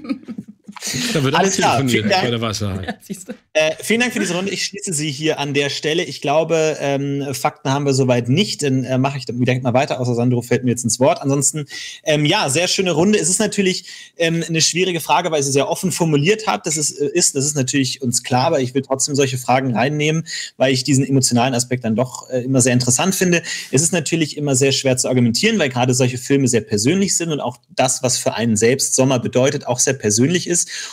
Und ähm, so hat Steven auch argumentiert. Er hat gesagt, dass der Film vermittelt ein tolles Gefühl. Ähm, es ist nach seinem Gefühl, es ist nach seiner ähm, eigenen Überzeugung genau das, was für ihn Sommer ist. Es, es tat mir aber ein bisschen schwer, genau nachzuvollziehen, was das genau ist.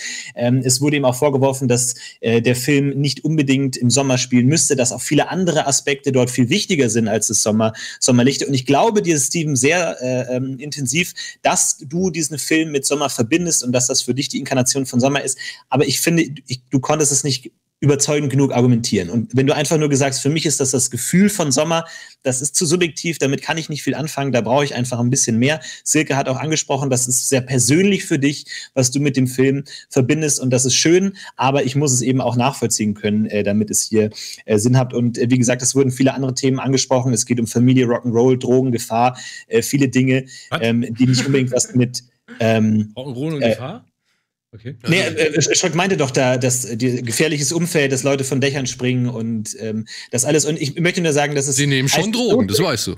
Das nicht war- notwendigerweise, dass es Ich, ich lasse das jetzt mal, ich, ich sehe das komplett anders gerade als ihr. Aber du, du bist der Judge, du erzählst das, was du da Genau, im Grundsatz einfach, ich, ähm, ich konnte nicht über deine subjektive Einschätzung, dass es dein Gefühl ist, hinaus verstehen, was äh, du damit verbindest. Schröck, äh, mit Stand By Me, du hast sehr viele ikonische Szenen angesprochen, dieses ganze ähm, irgendwie zusammen die Jugenderfahrungen, äh, Lagerfeuer, irgendwo unterm Sternenhimmel zu liegen, äh, all diese Situationen. Ich fand auch sehr überzeugend, wie du argumentiert hast. Und das war sogar ein, ähm, ein Punkt, der von Steven kam, der diesen äh, Ges- Satz, es ist der Sommer ihres Lebens gesagt hat. Das hast du aufgegriffen und gesagt, ja, es ist der letzte Sommer ihres Lebens. Es ist eben genau diese Phase, das Ende der Kindheit so ein bisschen, dieser letzte Sommer, diese letzte Sommerferien, das muss im Sommer stattfinden, diese, diese Phase. Das ist eine ganz besondere Phase im Leben dieser Kinder, die eben mit dem Sommer zusammenhängt. Du hast mit der freien Natur argumentiert, mit den ganzen äh, pubertären jugendlichen Erlebnissen, die da stattfinden. Und ähm, das äh, fand ich auf jeden Fall äh, sehr überzeugend. Und äh, Silke, du hast mit der Weiße Hai den unkonventionellsten Ansatz genommen. Du hast es sehr äh, ähm, aufgefasst im Sinne von dieser jetzige Sommer, den wir gerade erleben, mit ähm, der aktuellen Situation, dass Geschäfte geschlossen werden und eine vielleicht unsichtbare Gefahr lauert überall. Ähm, insgesamt muss ich sagen, mich konnte das nicht 100% überzeugen, weil der Weiße Hai natürlich letzten Endes dann doch auch ein Film ist, der, wie gesagt, auch dieses, dieses Abenteuersegment hat und die Gefahr wird bekämpft und besiegt am Ende. Und ähm, ja, ich verstehe, worauf du hinaus wolltest, aber hundertprozentig konntest du mich nicht überzeugen an der Stelle. Deswegen äh, muss ich sagen, auch diese dritte Runde geht in meinen Augen an Stand By Me von Schröck. Sehr schön argumentiert. Glückwunsch. Gute Wahl auf jeden Fall und schön gemacht. Das gönnen wir dir. Ui. Daher zwei Punkte für Schröck, aber auch, äh, es war, es ist mir sehr, sehr schwer gefallen, auch weil es so eine persönliche Frage ist natürlich. Da ist es immer schwer, aber ich muss nach Dingen die, gehen, die ich äh, argumentativ nachvollziehen kann. Ähm, und da war Schröck für mich am stärksten dabei. Sandro, hast du noch dem was hinzuzufügen? Was sagt die Community?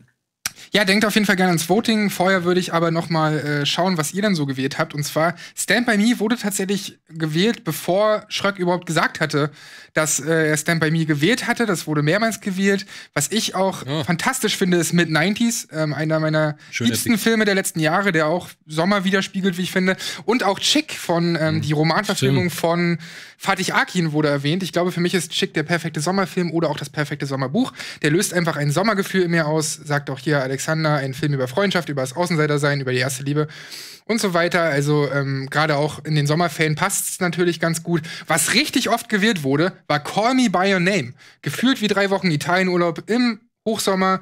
Ähm, also Call Me By Your Name bestimmt. Stimmt, hatte ich auch. Habe ich mindestens 20 Mal oder 30 Mal gesehen. Ähm, wäre auch ein sehr, sehr guter Pick gewesen tatsächlich, weil er einfach das Gefühl von einem Sommer, ähm, gerade auch natürlich in Italien dort, sehr gut äh, darstellt. Das Oh. erstaunliche Leben des Walter Mitty. Oh, nett. Naja, aber naja. Auch, aber gut, muss man natürlich argumentieren, warum ausgerechnet dann irgendwie Sommerfilm. Eine sehr kreative Antwort ist Everest, um sich mal abzukühlen, vielleicht genau wie Waterworld. warum nicht? Hätte man auch so argumentieren können, wäre ein sehr kreativer Pick gewesen. Mad Max. Das, das muss man sagen, ist natürlich, äh, ich glaube, der ist unerträglich, der Film heutzutage. ähm, aber auch hier, ich kenne Stevens Film nicht, aber ich finde die Argumente gut. Hieran sieht man auch ganz gut, dass es bei Filmfights nun mal um die Argumente geht, nicht unbedingt um die beste Antwort an sich, was man selbst so findet. Das ist die Aufgabe von Florentin, da zu sehen, was äh, oder wer hat die besten Argumente gefunden. Das hat in dem Fall dann Schröck. Aber jetzt lasst uns mal schauen, was ihr gesagt habt im Voting-Ergebnis. Was äh, war eurer Meinung nach der beste Pick, beziehungsweise was waren die besten Argumente? Und da liegt tatsächlich auch Stand By Me vorn. Also ihr seid da einer Meinung mit Florentin, dahinter Almost Famous und dann hinten ran der weiße Hai. Aber Steven, sei nicht traurig, auch für dich. Ähm, Bin ich traurig. auch für dich. Ich bin äh, sauer. auch für dich ist noch alles drin. Ich meine, die Ja, Pitch-Frage gut. kommt ja noch. Dafür gibt es ey, zwei ich Punkte. so, da- Also auch du kannst noch ins Finale kommen. Ähm, ja, ich brauche weiter noch Fragen unter Hashtag Filmfights, also schickt mir gerne ein paar Fragen noch fürs Finale. Ich bin gespannt, wer da reinkommen wird.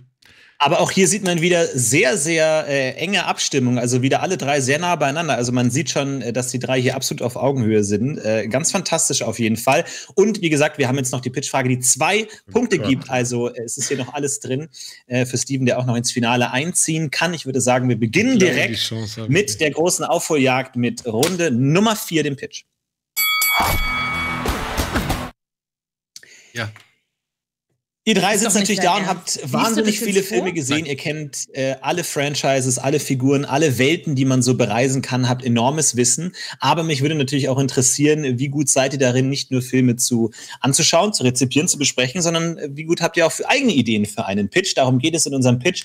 Die Idee ist, ihr stellt einen Film vor und vermittelt uns, was in diesem Film passieren könnte äh, und versucht uns davon zu überzeugen, Geld für diesen Film zu investieren, entweder als Produzent oder als Zuschauer dann in diesen Film zu gehen. Und worum es dieses Mal gehen soll, ist die Aufforderung, pitche einen Crossover-Film. Das bedeutet, dass ihr zwei Welten mischt. Das können verschiedene Welten sein, das können zwei Filmwelten sein, kann aber auch eine Videospielserie trifft auf ein reales Ereignis oder zwei Videospiele oder ein äh, echtes Ereignis trifft auf eine Boyband oder was auch immer. Ihr könnt beliebig mischen. Wichtig ist nur, dass ein stimmiger, sinnvoller Film entsteht, den man so sich angucken könnte, wo man sagt, wow, das klingt wirklich nach einer guten Idee. Dafür würde ich 200 Millionen Dollar investieren. Ich bin sehr, sehr gespannt, äh, worauf ihr alle gekommen seid. Und wir fangen wie in der ersten Runde bei Schröck an.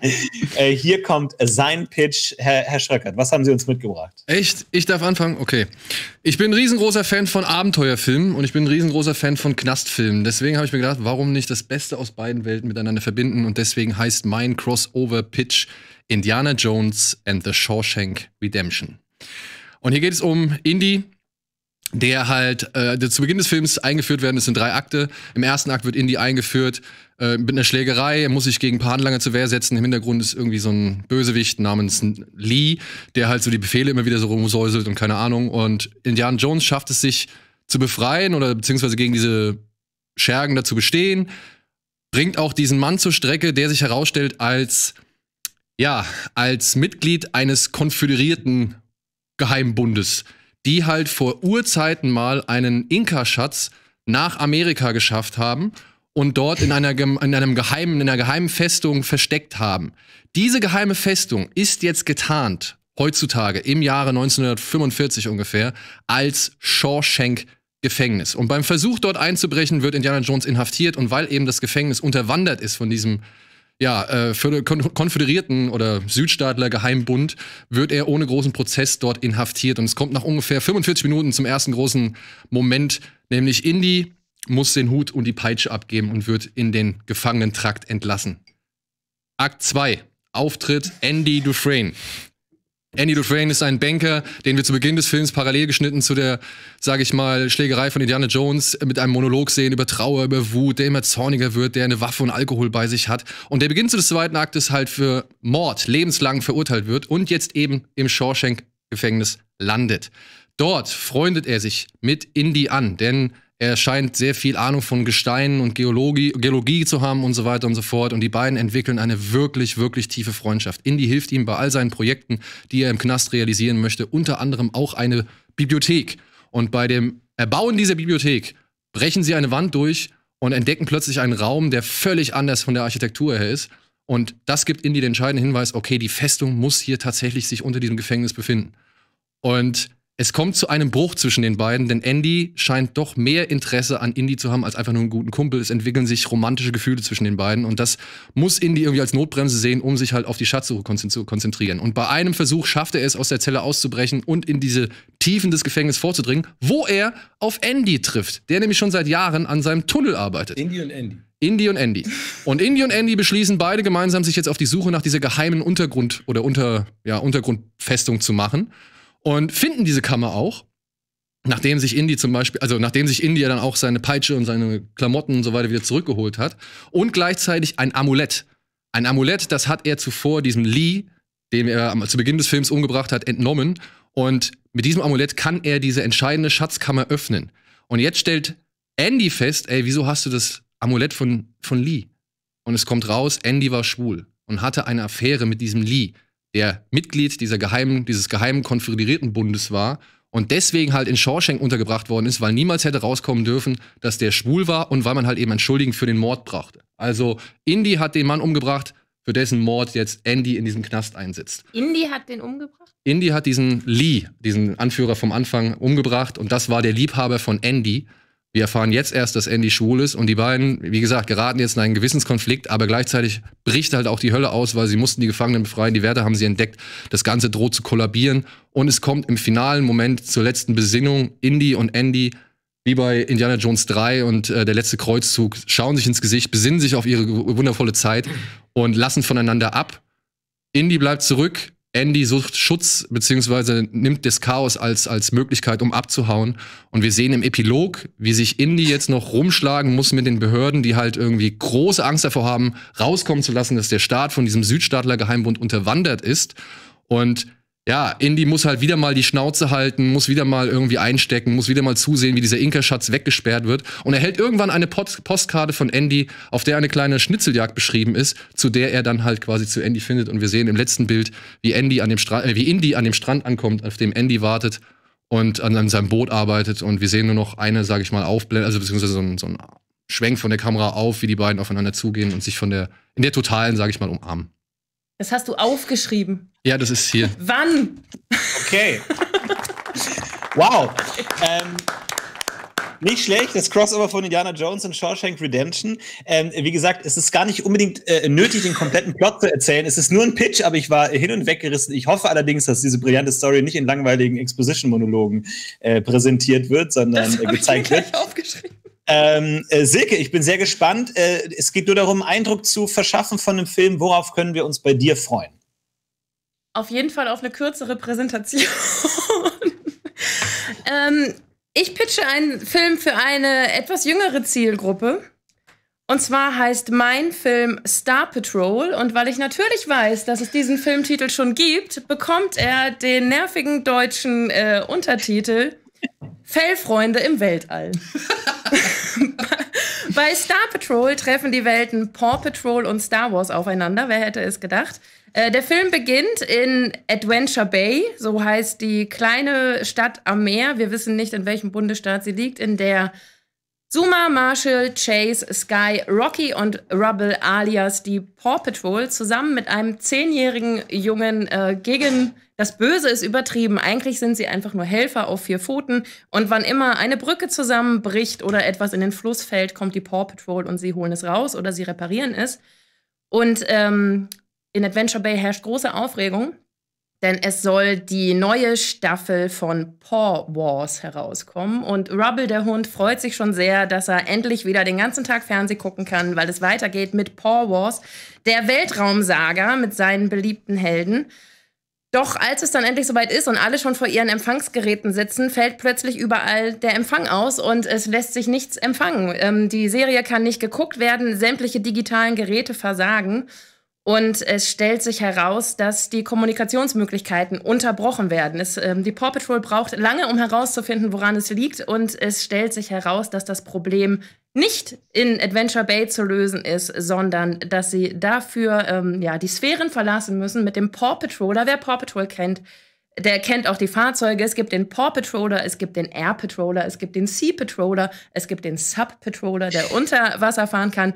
Und nun enthüllt Ryder die große Nachricht, dass schon seit Jahren natürlich auch der Space Patroller auf die Paw Patrol wartet und sich all die Jahre nur auf diesen Einsatz gefreut hat. Denn die Fellfreunde müssen ins All aufbrechen, denn Bürgermeister Besserwisser und die Chaoskätzchen haben sich dazu entschieden, das sind die bösen Gegenspieler der Paw Patrol aus dem Nachbarsort, ähm, haben sich dazu entschieden, mit einem sehr großen Raumschiff, das sich der Tatzenstern nennt, die Kommunikation zwischen den ähm, Rundfunksatelliten zu unterbrechen. Und die Paw Patrol muss also mit dem Space Patroller ins All aufbrechen, um das zu unterbinden. Ich fasse mich jetzt ein bisschen kurz, weil der Mittelteil nicht ausgearbeitet ist, aber am Das Ende. ist gar nicht so notwendig. Es ist nur ein Pitch. Es muss kein kompletter Okay. Plot sein. Am Ende werden sie alle Freunde. Sehr gut. Das ist mir wichtig. Weil natürlich haben auch die Chaoskätzchen und äh, Bürgermeister Besserwisser nur aus guten Gründen gehandelt. Ähm, denn sie wollten einfach vermeiden, dass die Kinder die, den ganzen Sommer vorm Fernseher verbringen, weil Bürgermeister Besserwisser einen Abenteuerpark aufgebaut hatte.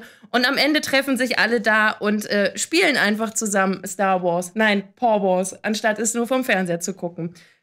Wie sie dann dahin kommen und wie sie im All kämpfen, überlege ich mir dann noch wenn ich das Drehbuch schreibe, für das ich 200 okay. Millionen Dollar bekomme. Sehr, sehr niedlich auf jeden Fall die Star Patrol von Silke.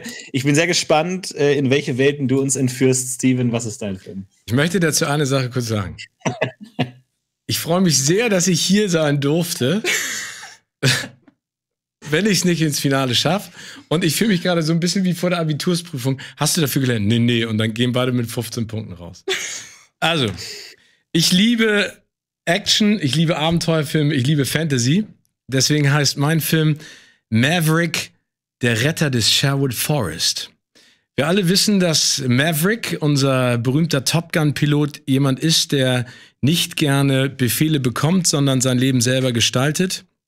Er ist mittlerweile so angeeckt mit seinen Chefs, dass er aus der Top Gun-Schule entlassen wurde unehrenhaft und verdingt sich jetzt, weil er der Fliegerei treu geblieben ist, als Privatpilot für reiche Geschäftsleute und hat dann eines Tages den Auftrag, die Kinder oder den Sohn eines reichen Geschäftsmannes von Amerika über den Atlantik nach Europa zu fliegen, weil der mit seiner Freundin, seinem besten Freund und dessen Freundin und seinen Sidekicks äh, eine schöne Zeit in Europa verbringen möchte. Wie viele sind es insgesamt? Entschuldigung. Es sind sechs. Plus die geschiedene, sehr attraktive Frau des reichen Geschäftsmannes, die mitkommt, um auf die Kinder aufzupassen oder die Jugendlichen. Und er fliegt mit denen los und über dem Atlantik, wie wir das in einigen Fantasy- und Abenteuerfilmen kennen, braut sich ein unfassbares Gewitter zusammen, kurz vor der englischen Küste. Was passiert? Maverick natürlich, der Hau drauf, den wir kennen und den wir lieben aus den Filmen, fliegt nicht drumherum, sondern fliegt direkt durchs Gewitter. Was passiert in diesem Gewitter? Es ist ein Zeitloch und ein Raumloch und er landet im England zur Zeit von Robin Hood und dem Sheriff von Nottingham. Natürlich wissen sie zum Zeitpunkt der Landung auf einem Feld, das sie sich ausgesucht haben, weil er bestimmte Koordinaten eingegeben hat, wo eigentlich ein Privatflughafen sein sollte, landet er auf einem Feld, alle sind verwirrt und stürzen sich in die Zeit von Robin Hood und dem bösen Sheriff und werden sozusagen mit eingenommen in diesen Kampf zwischen Gut und Böse. Ich habe gesagt, das Fantasy-Genre spielt natürlich auch eine wichtige Rolle, weil es gibt natürlich einen Magier, den es im Original bei Robin Hood nicht gibt, der am Ende aller Zurück in die Zukunft Top Gun Maverick und seinen Freunden oder seiner Fracht hilft, wieder in die richtige Zeit zurückzukehren. Okay, wow. Äh, wieder drei sehr unterschiedliche Herangehensweisen. Ich bin sehr, sehr gespannt. Ich würde alle drei am liebsten sehen. Ich fasse mal ganz kurz zusammen. Schröck bietet uns eine Kombination aus Indiana Jones und Shawshank Redemption. Bei Silke, Silke fallen Paw Patrol und Star Wars zusammen und Steven vermischt Top Gun und Robin Hood. Ich bin sehr, sehr gespannt. Äh, die Runde ist eröffnet. Also ich, ich bin begeistert, wirklich begeistert von dem, was du da runter und runtergeschrieben und referiert hast, genauso auch von dir. Ich bin da eher so auf der Don Simpson, Jerry Bruckheimer Seite. Die haben ja damals gesagt, man muss versuchen, einen Filmpitch in einem Satz zu machen. So sind die meisten Filme auch von denen, aber ich mag die relativ ich kann meinen Film in einen Satz zusammenfassen. Ja, genau. Indi äh, Indiana Jones und Shawshank Redemption. Ich sag, Maverick rettet den Sherwood Forest. Insofern kann ich das auch. Bei dir ist es dann Paw Fell, Patrol. Fellfreunde im Weltall. Fellfreunde im Weltall. ja, ähm, wie, wie, gesagt, ich glaube, das ist ja auch eine sehr subjektive, ein sehr subjektiver Pitch, ne? Ein Crossover-Film. Ich muss dazu sagen, dass ich mich im Vorwege äh, wirklich damit auseinandergesetzt habe und überlegt habe, wie viele Crossovers eigentlich mittlerweile gibt. Ne? Also es gibt ja unfassbar, also ich habe dann gedacht, so äh, äh, Animation im Realfilm, ne? Who Framed Roger Rabbit, ne? Und dann habe ich auch gedacht, so Comedy, was kann man da miteinander vermengen? Und dann habe ich mich auf die Figuren, äh, äh, sag ich mal, besonnen, die ich persönlich, und jetzt komme ich wieder zur subjektiven Art und Weise, aber das ist ja wichtig, dass man in einem Filmpitch auch persönliche Leidenschaft empfindet. Ich finde, dass äh, Maverick und die Welt von Robin Hood und vor allen Dingen, wenn man das so einen kleinen magischen Touch gibt, einfach viele schöne Spielmöglichkeiten bietet für einen großartigen, bunten, richtig genialen Abenteuer. Darf ich fragen, mit welcher Maschine fliegen Sie dahin? Also mit welcher Maschine wollen Sie rüberfliegen? Was ist das für eine Maschine? Also den Typ willst du jetzt wissen. Ja, genau. Also ist, also es ist ja keine Kampfmaschine, ne? Also Sie Nein, fliegen es ja nicht Privatjet. Privatjet. Habe ich ja auch gesagt. Er, er ist ja kein Top Ja. Gun-Pilot mehr. Also das heißt, Sie ja- können, können Sie mit der Technik irgendwie was, was anfangen im Sherwood Forest? Also beziehungsweise nutzen Sie die Technik, um irgendwie Sachen, weiß nicht, Natürlich, Farben aber das wäre jetzt zu detailliert, weil das ist in Kapitel 5. Ich, ich habe äh, keine Detailfrage, ich habe eine ganz wichtige Frage an Ja. dich. Wer spielt Indiana Jones? Äh, wir haben ja drüber geredet. Ich, ich, ich, ich Weil ich kann es ja, mir nicht vorstellen. Ich habe es nicht vor Augen. Und ich liebe Indiana Jones. Und ich kann, also wenn du noch mal probieren willst, einen neuen Indiana Jones Teil zu machen, viel Erfolg. Aber wer, wer soll das sein? Es ist, also wir reden ja jetzt hier nun mal von einem Crossover, ne? Wir reden von einer, sag ich mal, losgelösten Realität, in der solche Überschneidungen möglich sind, weil wenn ich das richtig verstanden habe, durften wir frei drehen ohne Ende. Also ich habe hier den Tim Robbins aus The Shawshank Redemption, äh, Redemption der Andy Dufresne spielt, und ich habe hier Harrison Ford, der Indiana Jones spielt, so wie wir ihn kennen. Es ist das Jahr 1945, es ist kurz nach dem dritten, so gesehen, und ist noch vor dem vierten. Also ich bleibe so gesehen in der, in der Zeitlinie. Aber dafür ist Harrison Ford zu alt. Ja, aber darum ging es ja nicht. Wir, wir reden Aber ja wenn jetzt. du, du pitcht hier für einen Film, den du drehen willst und mit welchem Schauspieler du das umsetzen willst, musst du sagen. Und Harrison Ford ist jetzt zu alt, um die Rolle zu spielen, die das ist ja das Schöne an, an ähm, Tom Cruise. Wir wissen, er Das ist das, nicht Schöne, zu alt das, ist das Schöne an der Paw Patrol. Aber jetzt, jetzt, jetzt muss ich nur mal fragen, ähm, okay, zum einen frage ich mich, warum hast du den Film nicht gleich Paw Wars genannt? Weil du einen Kinderfilm nicht mit Krieg der Pfoten übersetzen kannst. Da gehen keine Eltern mit ihren Kindern rein. Deswegen darf nur die Serie in dem Film Paw Wars heißen. Ja. Aber, okay. Ähm, aber ich, ich sehe halt nicht so den ganz den Crossover-Aspekt. Ich sehe einfach eine Star Wars-Geschichte innerhalb von Paw Patrol. Ja. Also ich sehe nicht, wo die Figuren aus verschiedenen Welten miteinander treffen, sondern für mich klang das jetzt alles adaptiert von der Paw Patrol. Also das Star Wars-Universum adaptiert auf die Paw Patrol. Dass es halt eben keinen Todesstern gibt, sondern einen Tatzenstern. Ja. Genau. Also das ist für mich dann einfach eine Folge Paw Patrol, die halt die Lizenz für Star Wars nicht gekriegt hat und jetzt so ihr eigenes Ding macht, so wie Donald Duck lustige Taschenbücher das so, so früher gemacht haben, die ihre eigenen Indiana Jones Geschichten oder ihre eigenen Star Wars Geschichten oder ihre eigene Nibelungengeschichte erzählt haben. Oder Phantomia. Oder Phantomias, die halt eben nicht die, die Lizenz nutzen durften. Aber ich sehe jetzt nicht so wirklich, wo jetzt zwei Welten miteinander gekreuzt das ist ja wurden. alles animiert. Das ist alles animiert, ja. Das ist alles gezeichnet. Gut, ich meine, momentan, ich muss jetzt meinen Film nicht real verfilmen. Also es ist jetzt, könnte von mir aus auch noch eine wirklich her- mutige Herangehensweise sein, wie zum Beispiel dieser Tim und Struppi-Film, dass man mit Motion Capturing irgendwie ein bisschen mehr arbeitet oder so. Und wenn du jetzt unbedingt einen Darsteller brauchst, der Harrison Ford verkörpern soll, würde ich, oder beziehungsweise der Indiana Jones verkörpern soll, würde ich mir entweder noch mal Ryan Gosling durch den Kopf gehen lassen oder vielleicht aber auch Bradley Cooper. Oh, du Ratte. Daniel, Damit kaufst du dir Silke gerade mit den hat beiden mich vor Argumenten. zwei Tagen gefragt, welchen Schauspieler ich eigentlich Also ich muss also Ryan Reynolds wäre vielleicht auch noch eine Überlegung. Er hätte dieses Verschmitzte, er hätte dieses so, er müsste halt ein bisschen. Ja, aber ich finde Ryan Gosling ist immer noch der Beste. Nee, den mit dem. Nein, aber der, aber der wortkarge Indie.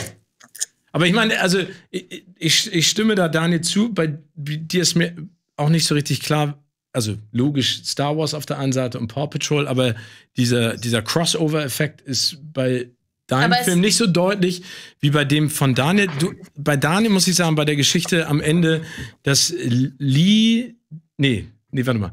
Indy hat den Liebhaber von Andy, Andy umgebracht. umgebracht. Da hast du mich so ein bisschen verloren, auch dann am Ende mit der und das. Also. Bedenke mal diese Tragweite.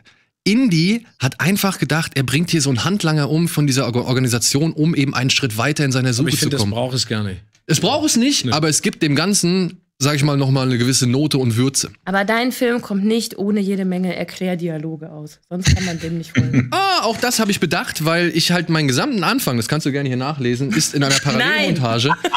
äh, findet hier statt. Genauso wie zum Beispiel auch der Epilog, der findet auch in der Parallelmontage statt. Es geht eigentlich, mein Erklärdialog findet eigentlich relativ im ersten Akt zu Beginn statt, nachdem Indy so gesehen diesen Anhänger oder diesen Schlüssel oder Also dieses bei mir Amulett. sind aber zum Beispiel zwei Figuren das zentrale Thema, die ja sehr beliebt sind. Robin Hood ist zeitlos, viele Verfilmungen gibt es davon und Maverick ist ja nun mal eine ikonografische Actionfigur. Und ich finde, das vermengt mit einer Coming-of-Age-Story zusätzlich noch mit einer Liebesbeziehung zwischen der geschiedenen Geschäftsfrau und eventuell Top Gun Maverick. Großartig. Und ich möchte noch mal deine, ähm, deinen Kommentar, was du auch gesagt hast, dass es bei mir nicht klingt, als würden die zwei Welten wirklich miteinander verschmelzen. Ich möchte schon einen Film pitchen, bei dem es darum geht, auch die Lizenzrechte zu erwerben. Denn der wahre Gedanke hinter dem Film ist ja das ganze Merchandise drumherum. Eine neue Paw Patrol-Serie, bei der sie alle mit kleinen Flugzeugen, äh, Aha. Raumschiffen umherfliegen und wo du die 200 Millionen Dollar, fiktiv, um die es hier gerade geht, in Handumdrehen in einem Weihnachtsgeschäft fünfmach, fünffach wieder raushaben kannst. Ja. So meinst du Revenue. Äh. Ganz kurz, äh, wir haben von Schröck schon ein paar konkrete Szenen gehört. Mich würde ganz kurz von den anderen beiden mal so eine Szene interessieren, die so ein bisschen die, die, die, die Dramaturgie eures Films so ein bisschen illustriert. Silke, kannst du mir mal so eine Szene beschreiben, so eine, eine Seite aus dem Drehbuch, damit ich mir was Konkretes drunter vorstelle? Das ist der Moment, in dem die Paw Patrol erfährt, dass sie jetzt auch einen Space Patroller haben und ihre Ausrüstung vorgeführt bekommen. Genauso wie sie den Dschungel Patroller, den habe ich vorhin vergessen, präsentiert bekommen haben. über den Alles für sich 39,99 zu kaufen. Und im, im Happy Meal bei McDonalds kann man sie auch sammeln. Und äh, da wer- werden ihnen ihre neuen Werkzeuge vorgeführt. Und wie du sicher weißt, ist es bei der Paw Patrol so, dass sämtliche Werkzeuge sprachgesteuert funktionieren. Das heißt, wenn Chase sagt, Wuff, Fangnetz, dann öffnet sich auf seinem Rücken der Rucksack und es kommt eine Maschine heraus, die ein Fangnetz wirft. Und so können das alle von der Paw Patrol. Und sie werden nun von Ryder neu ausgestattet mit ihrer jetzt habe ich den Namen vergessen, Star Patrol Ausstattung, die natürlich keine tötenden Lichtschwerter oder Blaster sind, aber die an die Optik erinnern. Zum Beispiel bekommt Marshall, der Feuerwehrhund, jetzt einen neuen Feuerwehrschlauch, bei dem der Griff aussieht wie ein wie ein Lichtschwert, bevor es halt aktiviert wird. Und alle freuen sich sehr, weil sie plötzlich ihren Helden, den sie, die sie schon von der Leinwand kennen, ähnlicher sehen. Okay, Steven, wie würde deine archetypische Szene für den Film aussehen? Bei mir ist es das Aufeinandertreffen zwischen Maverick, der völlig frustriert ist, dass er jetzt nur noch kleine Maschinen fliegt und nicht mehr in Kampfjets um die Welt äh, reist und äh, das Böse auslöscht. Auf einem Privatflugplatz in Amerika, wo er auf diese sechs reichen, etwas schnöseligen Jugendlichen trifft, gemeinschaftlich mit der Mutter, die ein bisschen anteilsnahmslos hinterherläuft und sagt so, okay, ich muss da jetzt irgendwie drauf aufpassen. Ich will nicht, dass mein kleiner Schützling ver, ver, äh, da irgendwie verschwindet in Europa. Und die beiden treffen aufeinander und Maverick hat dieses cockige, dieses arrogante, dieses ein bisschen herablassende und denkt sich so, oh Gott, was habe ich mir denn da jetzt schon wieder eingefangen? Ist total genervt, hat aber ein bisschen Interesse an der Frau, lässt die einsteigen, fliegt mit denen los, hört sich diesen ganzen Schnack an, haut den zwischendurch ein paar Sprüche rauf und weil er so genervt ist von dem, was da im Hintergrund passiert und sich dieses Gewitter vor den aufbraut über dem Atlantik, sagt er irgendwann jetzt erst recht, jetzt schüttel ich die mal richtig durch, flieg nicht drum rum, sondern macht das in alter Kampf, äh, Flugmanier und fliegt mitten rein. Das heißt, Ja, okay. darf ich kurz noch eine Frage stellen? Ja. Klar. Das heißt, diese Figuren sind eigentlich nur dafür da, dass Tom Cruise dieses Kamikaze-Manöver durch den Sturm macht? Nein, die, Oder das haben ist die, die- Provokation. Die haben logischerweise. Das ist, das ist ja nur der Anteil, das ist der erst, die ersten 20 Minuten. Ja, nee, ich sag nur, aber Ja, genau. haben die danach noch eine Bewandtnis? Ja, logisch. Ja, und zwar. Weil die sich ja im Sherwood Forest gemeinschaftlich zusammentun müssen, um Robin Hood zu helfen.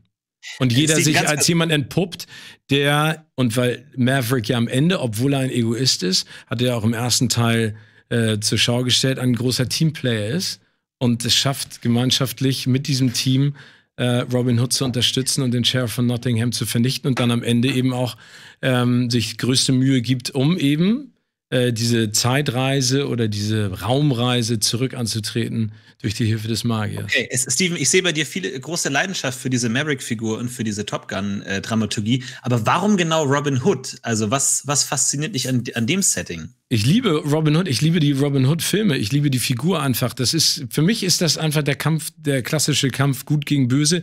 Ich mag das ganze Setting, den Wald, ich mag den Sheriff von Nottingham. Ich meine, wir alle erinnern uns äh, noch an Alan Rickman in der Kevin Costner-Verfilmung.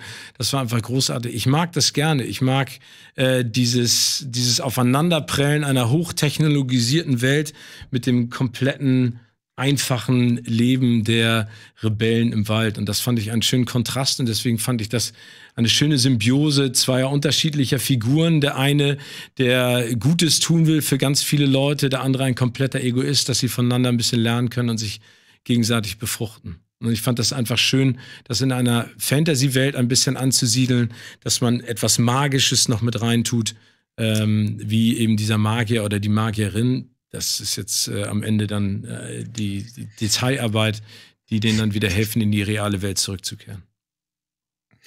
Okay, gut. Wir haben drei interessante Pitches äh, gehört. Äh, die 200 Mil Millionen sind locker. Also ich Äh, brauche gar nicht so viel für den Film. Ich auch nicht. Also ich brauche keine Jetzt wird 200 Millionen. behandelt, das kenne ich schon. Ja, ja.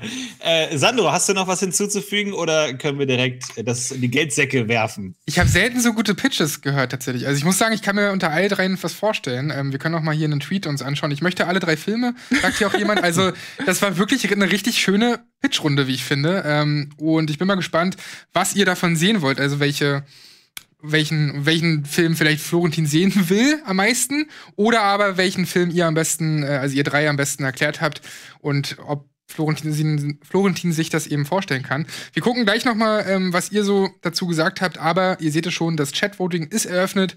Also ich bin mal gespannt, was Florentin am ehesten sehen will, aber auch vor allem, was ihr am ehesten sehen wollt. Und damit äh, gebe ich rüber zu Florentin und zu der Entscheidung. Ja, also äh, bei Crossover natürlich das Spannende ist es ja, die Dinge, die die beiden Elemente auszeichnen, in irgendeiner Weise zu destillieren und zu vermischen, um irgendwas Neues zu schaffen. Und ähm, das, äh, da gab es unterschiedliche Herangehensweisen. Ähm, ich finde bei äh, Schröck, man merkt natürlich, dass du dir am meisten Arbeit gemacht hast und da am meisten Zeit und äh, Leidenschaft hineingesteckt hast. Ich finde, es ergibt auch durchaus Sinn, diese beiden Filme zu kombinieren. Äh, natürlich, wir haben durch diese, äh, durch dieses Bild des Gräbers, durch dieses, äh, durch in, in, irgendwo ra- durchgraben, äh, natürlich diesen Moment, wo beide dann irgendwie kombiniert würden, wodurch dann die, diese geheime Untergrundwelt äh, geschaffen wird. Und ähm, du musstest dir aber auch einige Breitseiten äh, entgegenschießen lassen. Natürlich die Argumente, wie sieht das aus mit den konkreten Schauspielern? Wie macht man das? Das ist jetzt natürlich immer so eine Ansichtssache, inwiefern man solche Produktionsrealitätsargumente mit reinbringt. Aber ich finde, äh, Silke hatte da schon recht, dass natürlich auch diese beiden Filme, Indiana Jones und Shawshank Redemption, natürlich auch von ihren Hauptdarstellern leben und nicht nur von den Figuren. Äh, von daher ist es auf jeden Fall schon ein gutes Argument. Aber ich finde, du hast auf jeden Fall hier eine schöne Mischung gefunden, die auch Sinn ergibt. Silke, du äh, bist in, den Bereich der, ähm, des Kinderfilms gegangen und ähm, also natürlich als Executive Producer äh, mag ich natürlich auch deine Geldgier, die dann natürlich so mitbringt. Das hat mir sehr, sehr gut gefallen, dass du direkt an Merch äh, denkst Sehr und an smart, die verschiedenen aber. Möglichkeiten, diese Franchises auszuschlachten. Also Geil. da finden wir bei Disney bestimmt äh, offene Ohren, wenn das angeht, nach der äh, Star Wars-Lizenz zu fragen. Ich finde aber, dass das Argument, das gegen dich kam, dass es nicht wirklich ein Star Wars Crossover ist, sondern eher ein Science-Fiction-Abenteuer der Paw Patrol. Sehr gut. Du hast natürlich dann noch versucht, äh, mit dem Lichtschwert Wasserschlauch zu versuchen, irgendwie ikonografische Star Wars-Elemente mit reinzubringen. Aber Schröck hat völlig recht, wenn er sagt, da taucht keine einzige Star Wars-Figur auf. Es geht nicht um die Macht, es geht nicht um irgendwie Star Wars-Handlungen. Also da muss ich schon sagen, es klang bei dir eher um eine Paw Patrol Spin-off oder eine Parodie und nicht wirklich um ein Star Wars Crossover. Aber die Idee ist auf jeden Fall gut. Ich äh, leite das mal weiter in die Marketingabteilung, die wird sich da bestimmt sehr freuen. Ähm, Disney? Steven, ähm, eine sehr interessante Idee von ihr. Du hast äh, Top Gun und äh, Robin Hood gekreuzt und auch noch magische äh, Elemente mit reingenommen. Also da, du hast es dir so ein bisschen zusammengeworfen. Äh, wie gesagt, ich finde, man hat dir angemerkt, dass du äh, diese Top Gun-Figur, diese Maverick auf jeden Fall häufiger sehen willst und ähm, die neue Abenteuer mit ihm wünscht. Und ähm, es ging dann um diesen Zeitsprung Zeitsprung. Also du hast dann noch so eine Zeitreise-Thematik mit reingebracht, die jetzt weder in Top Gun noch in Robin Hood selbst integriert ist, aber du musstest natürlich diese beiden Welten irgendwie kombinieren. Aber es klang in meinen Ohren alles in allem jetzt nicht wirklich danach, dass es die Merkmale dieser beiden Filme irgendwie nutzt und mischt. Und warum es gerade Robin Hood war, hast du gesagt, ja, du magst Sherwood Forest, du magst das Abenteuer, aber dann kann man auch nach Mittelerde reisen oder irgendwie zu Aragorn oder so. Warum es jetzt gerade Robin Hood war, hat sich mir nicht komplett erschlossen. Ähm, ehrlich gesagt, ähm, es tut mir leid, aber ähm, deswegen, aus meiner Sicht in dieser Runde, auch wenn ich alle drei sehr interessant fand und sehr spannend, geht diese Runde wieder an Schröck der, äh, wie ich finde, hier äh, den Film äh, gebaut hat, der am meisten Sinn ergibt, dramaturgisch, filmtechnisch, geht hier an Schröcks, äh, Indiana Jones Also ich kann die Argumente nicht nachvollziehen, Herzlichen Glückwunsch. Ist so. Steven, du kannst dich gerne beschweren. Gerne, jetzt hast du genug. Nee, ich, ich habe deine Gegenargumente gegen meinen Film gerade nicht nachvollziehen können, weil es geht doch beim Crossover-Film darum, also, also es geht ja darum, Genres zu mixen. Und klar kann Maverick auch nach Mittelerde fliegen, aber ich habe ja gesagt, warum er nach äh, in den Sherwood Forest fliegt. Ich finde, das war jetzt kein Argument dagegen, dass er auch in eine andere Welt fliegen kann. Also, Nee, überhaupt ich nicht, aber dein, warum, wie du, wie du Robin Hood begründet hast, war, du magst Robin Hood, du magst Sherwood Forest, du magst den Sheriff von Nottingham, aber du hast nicht gesagt, warum jetzt gerade diese Robin Hood-Welt ist. Also es gibt ja viele Mittelalter-Filme, die im Mittelalter-Film spielen. Aber ich habe es doch ähm, gesagt, weil es ein, eine, eine Figur ist, mit der sich viele identifizieren können, die viele kennen, die viele Verfilmungen hatte. Und ich glaube einfach, die beiden Welten, wenn die aufeinandertreffen, wäre doch ein spannender Crossover. Also, Ja, das stimmt schon, aber wie gesagt, es gibt viele äh, Filme, die äh, Figuren haben, mit denen sich viele identifizieren, auch viele, die im Mittelalter spielen. Und wenn du dann noch dieses magische Element mitbringst, das überhaupt nicht in Robin Hood angelegt ist, dann tut's mir, leid. wie gesagt, ich sage ja nicht, dass es furchtbar war, nur das war so ein kleiner äh, ausschlaggebender Punkt, der die aber dann ist die Frage, dann finde ich die Frage ehrlich gesagt absurd. Welcher Crossover, weil das, also tut mir leid, dann, dann verstehe ich die Frage auch nicht in dem Zusammenhang. Weil wenn ich nicht unterschiedliche Genres miteinander mixen kann, dann ist es ja, was ist denn, also ich verstehe nicht, was Ich dagegen mein Argument spricht. war nicht, dass du nicht die Genres mischen darfst, sondern dass ich nicht verstanden habe, warum es gerade Robin Hood sein soll. Gut. Ich habe nichts dagegen, Genres zu mischen. Alles tut gut. mir leid, Florentin, äh, du tut mir bist leid, der es ist- es ist Judge, schwer. äh, alles die gut. Frage ist wirklich hart. Ähm, äh, ihr habt euch alle fantastisch geschlagen. Ich bin natürlich gespannt, was die Community sagt. Äh, Sandro, wie schaut's aus? Ich hoffe einfach, dass Florentin beim nächsten Mal gegen Steven direkt antritt. Bei Filmfights. Dann könnt ihr das da vielleicht klären, oder? Ist doch ein Vorschlag. Ich habe mal geschaut, was ihr sonst noch da draußen geschrieben habt und welche Crossovers ihr euch vorstellen könnt. Hier wurde zum Beispiel erwähnt The Hurt Locker und Captain America. Steve Rogers merkt schnell, dass er nicht alles mit seinen Kräften lösen, Superkräften lösen kann und fängt an zu hinterfragen, ob er den richtigen Namen gewählt hat. Äh, nicht schlecht. Godzilla und Pacific Rim wäre auch ein mega Crossover, auch wenn der zweite Teil von Pacific Rim Müll war. Manta Manta und The Fast and the Furious will ich auch sehen, unbedingt. Und Mission Impossible trifft James Bond 007. Lass die lebensmüden Stunts beginnen. Das wäre richtig geil. Und unten noch beide gespielt von Jackie Chan. Hat mir auch gut gefallen. Aber lasst uns mal schauen, ähm, wie ihr so gewählt habt im Voting. Was ist das Ergebnis vom Voting? Welchen Pitch oder welche Filmidee fandet ihr am besten? Was wollt ihr da draußen sehen? Und da ist ganz vorne das Maverick Oh, wow. Crossover. Uha. Uha, äh, ganz im Gegenteil zur Entscheidung, aber dahinter das Indiana Jones Crossover und Paw Patrol ein bisschen abgeschlagen, etwas weiter hinten.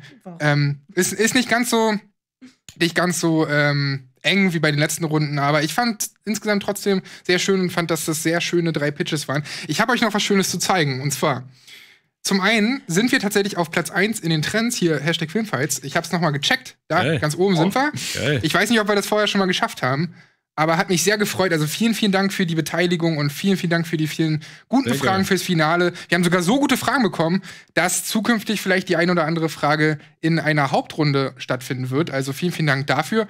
Und jetzt kommt das große Highlight. Jemand hat sich rangemacht, ein sehr schönes Video zu veröffentlichen und wir schauen uns das gemeinsam an. Ich lasse es einfach so stehen und für sich wirken.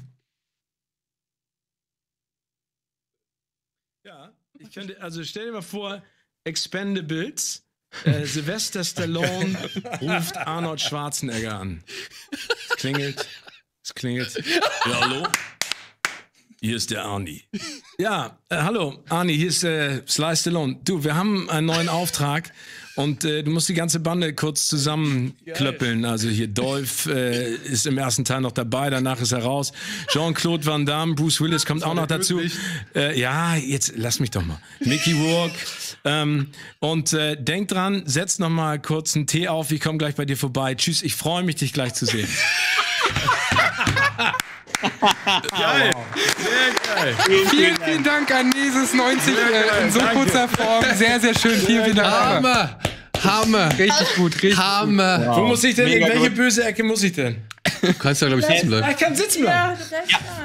Dann Steven, du genieße ich kannst äh, sitzen bleiben, denn äh, du bist somit leider äh, ausgeschieden aus dieser Runde. Aber vielen, vielen Dank. Du warst fantastisch. Es ist nicht immer leicht, aber ins Finale ziehen ein unsere beiden Finalisten, Silke und Daniel Schröckert. Ich freue mich. Sehr gut. Ich bin sehr, sehr gespannt. Äh, ihr habt jetzt noch die Möglichkeit, euch noch mal ganz kurz äh, zu erholen, noch mal ein paar Wunden zu flicken, bevor es dann ins Finale geht. Wir werden uns dann bis zu fünf Speedrunden anschauen, in der entschieden wird, wer hier heute die Trophäe nach Hause mitnimmt. Und äh, wir sehen uns dann gleich wieder, wenn es losgeht mit dem Finale nach einer kleinen Werbung. Bis gleich.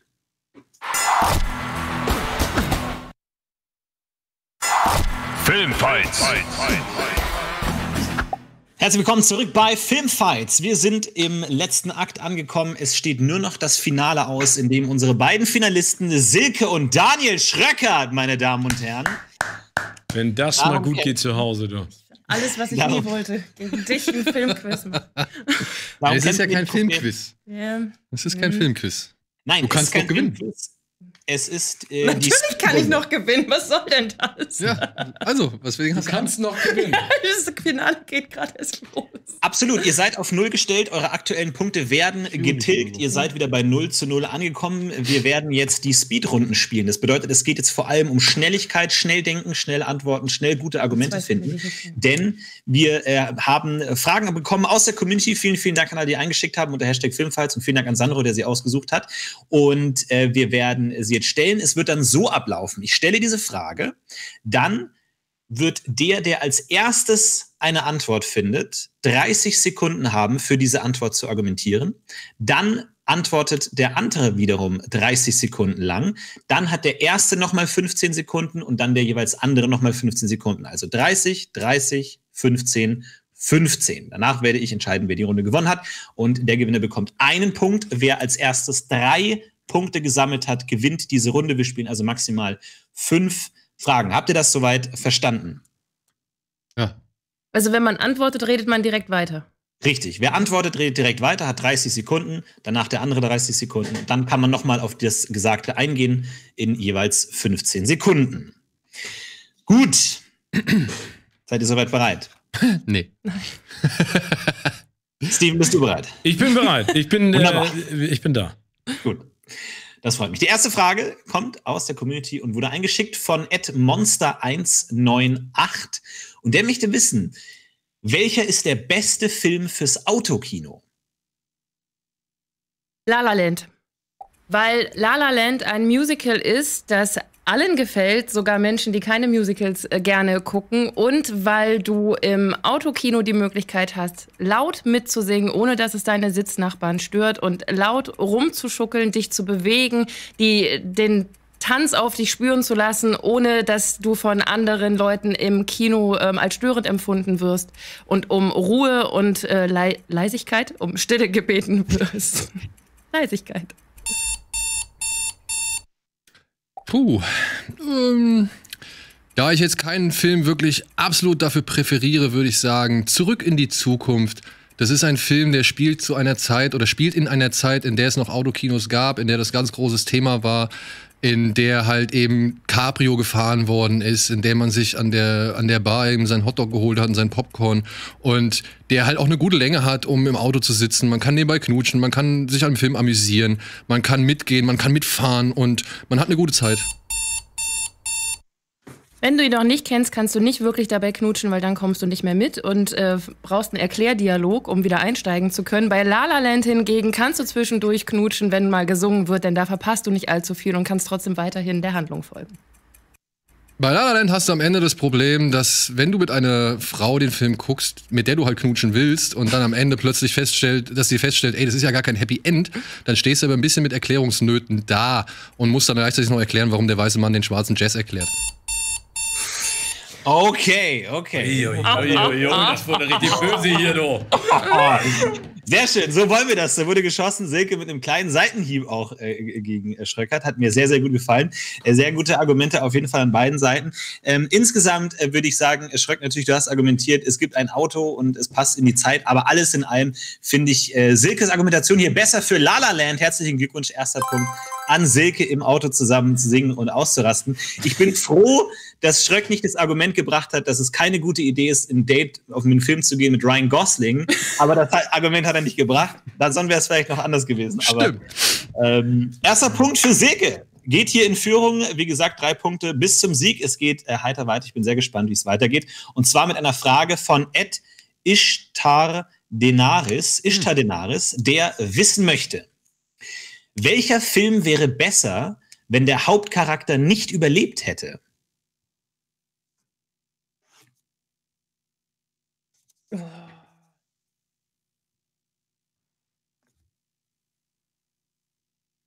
Alter. Nach zehn Minuten darf Steven wieder einsteigen, ne? Nö.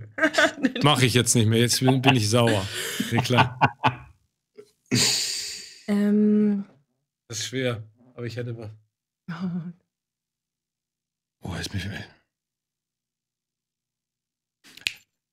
ich hasse dich. Ich habe einen. Ich habe einen. Toy Story 3. Toy Story 3 hätte am Ende die Spielzeuge in, die, in den Müllschlucker, in den Schlund, in den Schacht fahren lassen sollen. Denn das wäre ein Ende für die Ewigkeit gewesen. Ein Zeichentrickfilm, der sich erlaubt, oder ein Animationsfilm, der sich erlaubt, die Hauptprotagonisten wirklich mit Bewusstsein, dass ihre Zeit jetzt vorbei ist, in den Tod fahren zu lassen. Das hätte für Kontroversen gesorgt, aber das hätte, glaube ich, auch für jede Menge Respekt gesorgt, dass Pixar so weit geht und sich so traut. Denn es ist tatsächlich auch sinnig, dass das an diesem Moment passieren könnte. Ich sage The Bay, weil die Journalistin, die von der Stadt berichtet, in der ein tödlicher Organismus alle Menschen auffrisst, den ganzen Film hindurch durch diese Stadt läuft. Sie interviewt sämtliche Leute, sie fasst die Leute an, sie wäscht sich mit dem Wasser zwischendurch, als ihr heiß wird und trotzdem ist sie erstaunlicherweise die einzige, die von diesem angeblich so tödlichen Organismus nicht befallen wird und das macht den ganzen Organismus unrealistisch und weniger fürchterlich. Das ist leider nicht richtig. Da wir diesen Film gerade vorhin zusammen gesehen haben, wird auch gesagt, dass andere Menschen nicht infiziert worden sind. Und du brauchst halt tatsächlich irgendjemanden, der die Geschichte erzählt und wiedergibt und halt eben zu den einzelnen Bildern, die dort in dem Film von Found Footage gezeigt werden, auch irgendwas oder kommentieren kann und sagen kann. Ich weiß, aber mir ist nichts Besseres eingefallen und besser als Toy Story 3 wird's eh nicht mehr. Also war ich froh, dass ich irgendwas sagen konnte. Okay, da gebe ich Silke völlig recht. Äh, Toy Story 3, sehr, sehr schöne Antwort, gut gemacht, argumentiert und verteidigt. Hier von Schröckert, 1 zu 1, fließt auf, sehr schön. Huh, aber tatsächlich harte Frage. Ich glaube, da hätte man eine komplette Hauptfrage drum machen können. Äh, Steven, du meintest, du hast eine gute Antwort gefunden? Auf die? Nee, ich weiß nicht, ob es eine gute Antwort ist. Ich traue mir auch gar nichts mehr zu sagen. Ich werde ja gleich wieder gedisst von dir. ähm, Ach, Steven, Mensch. nein, alles gut. Äh, nein, ich, äh, Pitch Black. Obwohl, dann hätte es die zwei anderen Filme nicht gegeben. Nee, aber ich, ich hätte es trotzdem gut gefunden, hätte es ein Ende gehabt. Ja, ja, gut, ja. Gut, 1 zu 1 steht es. Es bleibt weiterhin spannend. Wir kommen zu Frage Nummer 3, die eingeschickt wurde von Ed Kratesch. Der fragt, wer gewinnt ein One-on-One? T800 oder Robocop? Robocop, denn ich kenne T800 nicht. Und Robocop ist äh, für, äh, für mein Verständnis nahezu unbesiegbar, da er ähm, maschinelle Kräfte auffahren kann gegen die T800, nicht gegen das T800, der aus 2001 im Weltall wäre, das T800. Der Terminator. Scheiße. Du kannst noch was sagen, du hast noch Also, Zeit. ja, ich bin Sag ich, was, Ich, komm, weiß, ich komm. weiß doch nicht mehr, was soll ich dazu noch sagen? Ich habe beide Filme nicht gesehen. Okay. Dann, dann nehme ich eben den T800, denn das Problem ist halt, der Robocop hat leider immer noch einen menschlichen oder ja menschliches Gewebe, einen menschlichen Kern. Nimm ihm das weg und er ist eigentlich nicht mehr zu gebrauchen. Außerdem hat Robocop ein Programm, das ihm verbietet, gewisse Menschen irgendwie, sag ich mal, nicht umzubringen. Zumindest im ersten Film noch. Das wäre halt auch eine Hemmschwelle und deswegen ist der Terminator komplett einfach nur aufs Töten programmiert und er bringt diesen Auftrag zu Ende, koste was es wolle. Selbst wenn er in Einzelteilen zerlegt ist, versuchen diese Einzelteile noch den Menschen umzubringen. Also deswegen ist er die effektivere Tötungsmaschine. Ich weiß wenig über den Terminator, aber der hat doch auch gewisse Menschen, die er nicht töten darf. Das, ist doch kein, das kann doch kein Argument sein. Ja, ja, also, ja. Ah, oh. Du hast Zeit, du hast Zeit. Ja, also äh, dann, wenn, wenn ich schon zugebe, dass ich etwas nicht weiß, musst du auch zugeben, wenn du. Ja, der Terminator hat ein Programm, beziehungsweise hat eine Befehlskette, die er auch befolgen muss. Wenn man ihm halt sagt, ey, darfst nicht töten, dann tötet er auch nicht. Aber das Problem an Robocop ist halt, er hat einen moralischen Kern. Der halt dann irgendwann durchdringt und sagt, ähm, nee, vielleicht soll ich es doch nicht machen, beziehungsweise ich setze mich über gewisse Dinge hinweg und das macht der Terminator nicht. Silke, ob du es glaubst oder nicht, ich weiß sehr, sehr gut, wie du dich fühlst in dieser Situation. Ich habe die Folge sehr- gesehen, Florentin. ich beide nicht gesehen. Von daher weiß ich sehr, sehr gut, wie du dich fühlst. Danke. Aber ähm, äh, ich muss hier den äh, Punkt auf jeden Fall Schreck geben. Er hat hier äh, gut Ja. argumentiert, aber natürlich es ist Das es ist natürlich okay. schwer aus seiner Situation. Damit äh, holt sich Schröck den Matchball. Es könnte bald zu Ende sein, aber es ist natürlich noch alles drin. Wir kommen zur vierten Frage von Ed Meister Kitte. Äh, der oder die möchte wissen, welche ist die schlechteste Buchverfilmung? Outsiders. Ich habe Outsiders in der Schule gelesen. Das ist der mit Tom Cruise. Das ist der mit Tom Cruise. Und dieser, der ganze Film, also in, in meiner Erinnerung ist er höchstens 60 Minuten lang. Das ähm, kann nicht sein, der ist vermutlich 90 Minuten lang. Aber es hat noch nie ein Film so schlecht geschafft, jeden Handlungsstrang. Und ich weiß, dass um eine Geschichte zu kürzen, Personen rausgekürzt werden müssen. Aber da ist einfach so viel rausgekürzt worden, dass am Ende nichts mehr übrig geblieben ist. Und ich habe nicht glauben können, dass der Film und der Buch irgendetwas miteinander zu tun haben. Ich sage der goldene Kompass, denn der goldene Kompass ist ein Film, den habe ich nur noch wirklich in minimalsten Sekunden in Erinnerung. Ich weiß, dass Nicole Kidman mitspielt, ich weiß nicht mal ihre Rolle. Es ist, sollte der Auftakt einer großen Filmserie werden mit Eisbären, die gegeneinander kämpfen und irgendwelchen Zaubertieren und so weiter. Man wollte Harry Potter wahrscheinlich Konkurrenz machen. Es hat einfach nicht geklappt. Kein Mensch kann sich an diesen Film erinnern. Es hat inzwischen eine neue Serie dazu gegeben, die es eigentlich ein bisschen besser macht. Aber diese Verfilmung ist einfach nur gnadenlos schlecht, weil sie weder zum Buchlesen animiert noch irgendwie eine weitere Filmreihe generiert hat. Und trotzdem hat sie viele Elemente in sich, die man aus der Buchreihe kennt und die Merkmale der Buchreihe sind und die Wiedererkennungswerte der Buchreihe sind. Anders als bei dem Film Outsiders, wo sogar du überlegen musst, was das für ein Film ist. Und allein das ist ein Zeichen dafür, dass der in keiner guten Erinnerung bleiben kann. Out die Outsiders ist aber tatsächlich von Francis Ford Coppola mit einer großen Riege an tollen Jungdarstellern, die es damals geschafft haben, das schon das Gefühl von den Jungs ein bisschen zu vermitteln und in sich stimmiger ist. Der Golden Kompass ist einfach langweilig, hat irgendwie miese Effekte zugeklatscht, hat eine Geschichte, die keinen interessiert.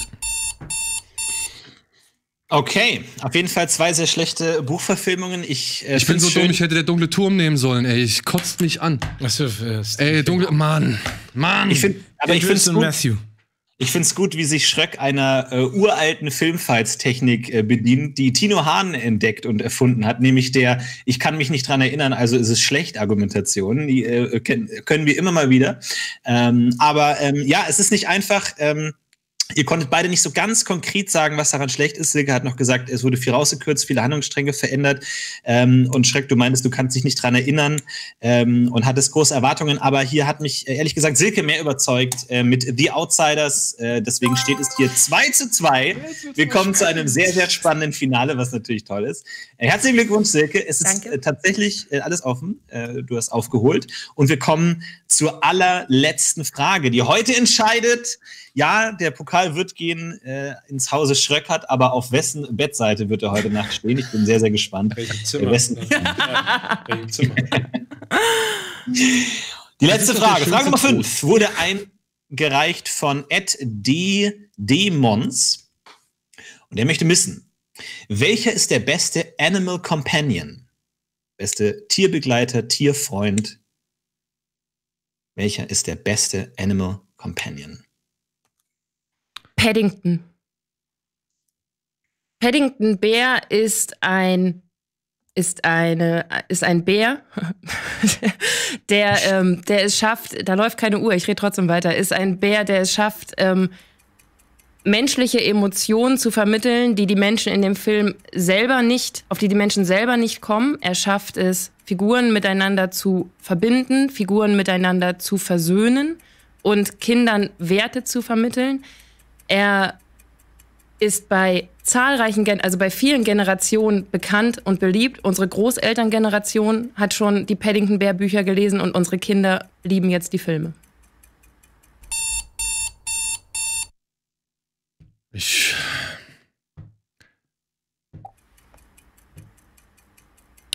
Struppi. Der Hund von Tim. Ein treuer Begleiter, treu wie Gold, unerschütterlich, immer dabei, hat Tim schon aus so vielen Gefahren und Situationen gerettet oder war daran beteiligt, dass dieser Tag noch zu einem guten Ende gebracht wurde. Er begleitet Tim durch alle Filmabenteuer, durch alle Comicabenteuer, durch alle, ja, weiß ich nicht, Zeichentrickfilmabenteuer, wurde immer, die Beziehung wurde immer wieder thematisiert und zum Schwerpunkt gemacht und immer wieder gezeigt, wie wichtig es ist. Deswegen ist ein Struppi ein unverzichtbarer Faktor von Tim und Struppi. Und der beste Begleiter. Und ein Hund und deswegen auch nicht besonders überraschend, dass ein Hund als bester Freund des Menschen auch ein toller Begleiter ist in vielen Abenteuern, dass aber ein Bär ein toller Begleiter ist, der das Leben dieser Familie so sehr bereichert, das ist wirklich besonders. Ja, aber tatsächlich muss man jetzt fragen, wen begleitet er denn so großartig? Denn meiste Zeit ist Paddington eigentlich allein unterwegs und ist auch im zweiten Teil im Knast und dort auf sich allein gestellt und muss dort, sag ich mal, versuchen, alleine irgendwie klarzukommen. Also er begleitet so gesehen eigentlich nie irgendwie jemanden, sondern versucht ihm nur selbst klarzukommen. Darf ich jetzt noch was sagen? Nein. Tut mir leid, tut mir leid, das ist die Speedrunde. Ähm, ja, schwere Frage, schwieriger Be Begriff vielleicht. Ähm, Ich hätt- aber Ähm, Florentin, ich hätte mal eine Frage. Hm? Meine erste, meine erste Gedanke war Chewbacca gewesen. Hätte das gezählt? Ist Chewbacca ein Tier? Ich glaube, da haben wir, da haben wir morgen Peter vor der Tür stehen, wenn wir sowas behaupten. Ich bin mir nicht hundertprozentig sicher an der Stelle. Ähm, ich bin aber da tatsächlich, und das ist vielleicht ein bisschen äh, schwierig, aber ich bin tatsächlich da auf Schröcks Seite. Ich würde nicht sagen, dass Paddington ein Animal Companion ist. Er ist die Hauptfigur. Er ist nicht der klassische Begleiter. Deswegen ähm, natürlich hier für einen absolut archetypischen äh, Begleiter Struppi von Tim und Struppi natürlich prädestiniert und finde ich auch sehr gut argumentiert, warum er das sein muss. Für mich geht diese Runde hier an Schröckert. Herzlichen Glückwunsch, äh, Daniel Schröckert an der Stelle. 3 zu 2 gewinnt Daniel Schröckert. Herzlichen Glückwunsch äh, äh, für die Trophäe. Ähm, ganz fantastisches Es Spieler ist von beiden. alles Wieder in ein sehr, sehr enges Finale. War ein krasser Kampf, mal ehrlich. War Es gut, hätte, es hätte das familiäre Gefüge durcheinander gebracht, wenn du jetzt Nein, ich hätte, ich hätte auch wirklich. Ey, was soll ich gegen Paddington Es, ich argumentieren? habe ich hab's beim, ich hab's beim Argumentieren gemerkt, dass es nicht die Frage genau war. Und ich, wirklich, ich habe so hart überlegt, Chewbacca, soll ich sagen, soll ich es nicht sagen? Ja, aber Chewbacca wäre dann in der Argumentation genau in das äh, Paddington-Feld reingefallen, ne? Also ich Ja, finde, man könnte Paddington sagen, ist, der, Paddington, Chewbacca ist der Begleiter von Han Solo, ne? Aber ja, aber, ich, aber er ist ja gleichwertig mit den menschlichen Ja. Figuren zu sehen. Ja, deswegen, das war so mein Ding, weil er. er Weil sonst sind ja ganz viele Figuren in dem Universum Animal Companions. Und nicht. ja, kommt immer drauf an, aber dann Standpunkt es am. Ende ja darauf hinausgelaufen, sagst du Struppi, sagst du Lassie. Ja. Na, aber Lassie ist dann auch, kein, wenn Paddington kein Companion ist, ist Lassie auch kein Companion. Ja, Lassie Weil erlebt auch eigentlich tatsächlich auch mehr Solo-Abenteuer, Ja. meiner Empfindung nach. So. Also, es Aber gibt wer jetzt ist nicht, denn noch einer? Mir fällt keiner ein. Sandro, hast du noch äh, ein paar Ideen? Gute Frage. Hachiko. Kennt ihr die Geschichte von Hachiko? Dem, äh, Hachiko, ja. Ja, dem, dem Hund, der äh, ewig lang noch zur, zum Bahnhof gegangen Genau. ist in Tokio, obwohl sein Herrchen schon verstorben war. Das, Das wäre äh, natürlich ein fantastischer Pick gewesen, Ja. weil der ist halt treu bis in den Tod. Ja, ich weiß, aber Also über der den Tod ist hinaus. Doch, aber der ist doch auch aber- kein also da zieht doch dasselbe Argument wie bei Paddington, dass der das ist sein also Film. Die Frage ist halt, wie klassisch willst du es nehmen? Ist ein Animal Companion jemand, der begleitet und die Befehle, also ist der devot seinem Herrchen Ja. gegenüber seinem Frauchen oder ist es eine eigenständige Figur? Das ist ja die Frage. ich hätte Sir Hiss aus Robin Hood nehmen sollen. Fisch ab Spaghetti. Zisch ab Spaghetti, ja. Na gut. Ja, Und Gut, Maverick äh, das hätte kann ich- natürlich. Nee, das kann Iceman. natürlich gerne noch äh, weiter diskutiert werden äh, in den Kommentaren und auf Twitter. Vielen, vielen Dank für die rege Beteiligung der Community und vielen, vielen Dank für unsere drei Kämpfer. Ihr habt euch alle drei fantastisch geschlagen und herzlichen Glückwunsch an Daniel Schröckert. Ähm, ich hoffe, Steven Gätchen ist ein bisschen weniger sauer auf mich, wenn ich mich förmlich bei ihm verabschiede äh, und sage Tschüss. Danke, dass du dabei warst. Vielen, vielen Dank. Vielen Dank. Danke, äh, Schröckert, dass du dich in den Ring getraut hast Zeit. Vielen Dank, Silke. Man kann euch alle sehen äh, bei den Filmgorillas auf ZDF. Vielen, vielen Dank an Sandro. Äh, haut rein, macht's gut. Habt noch ein schönes Wochenende. Bis zum nächsten Mal. Macht's gut. Das war Filmfights. Ciao. Tschö, vielen Dank. Danke an dich. Filmfights.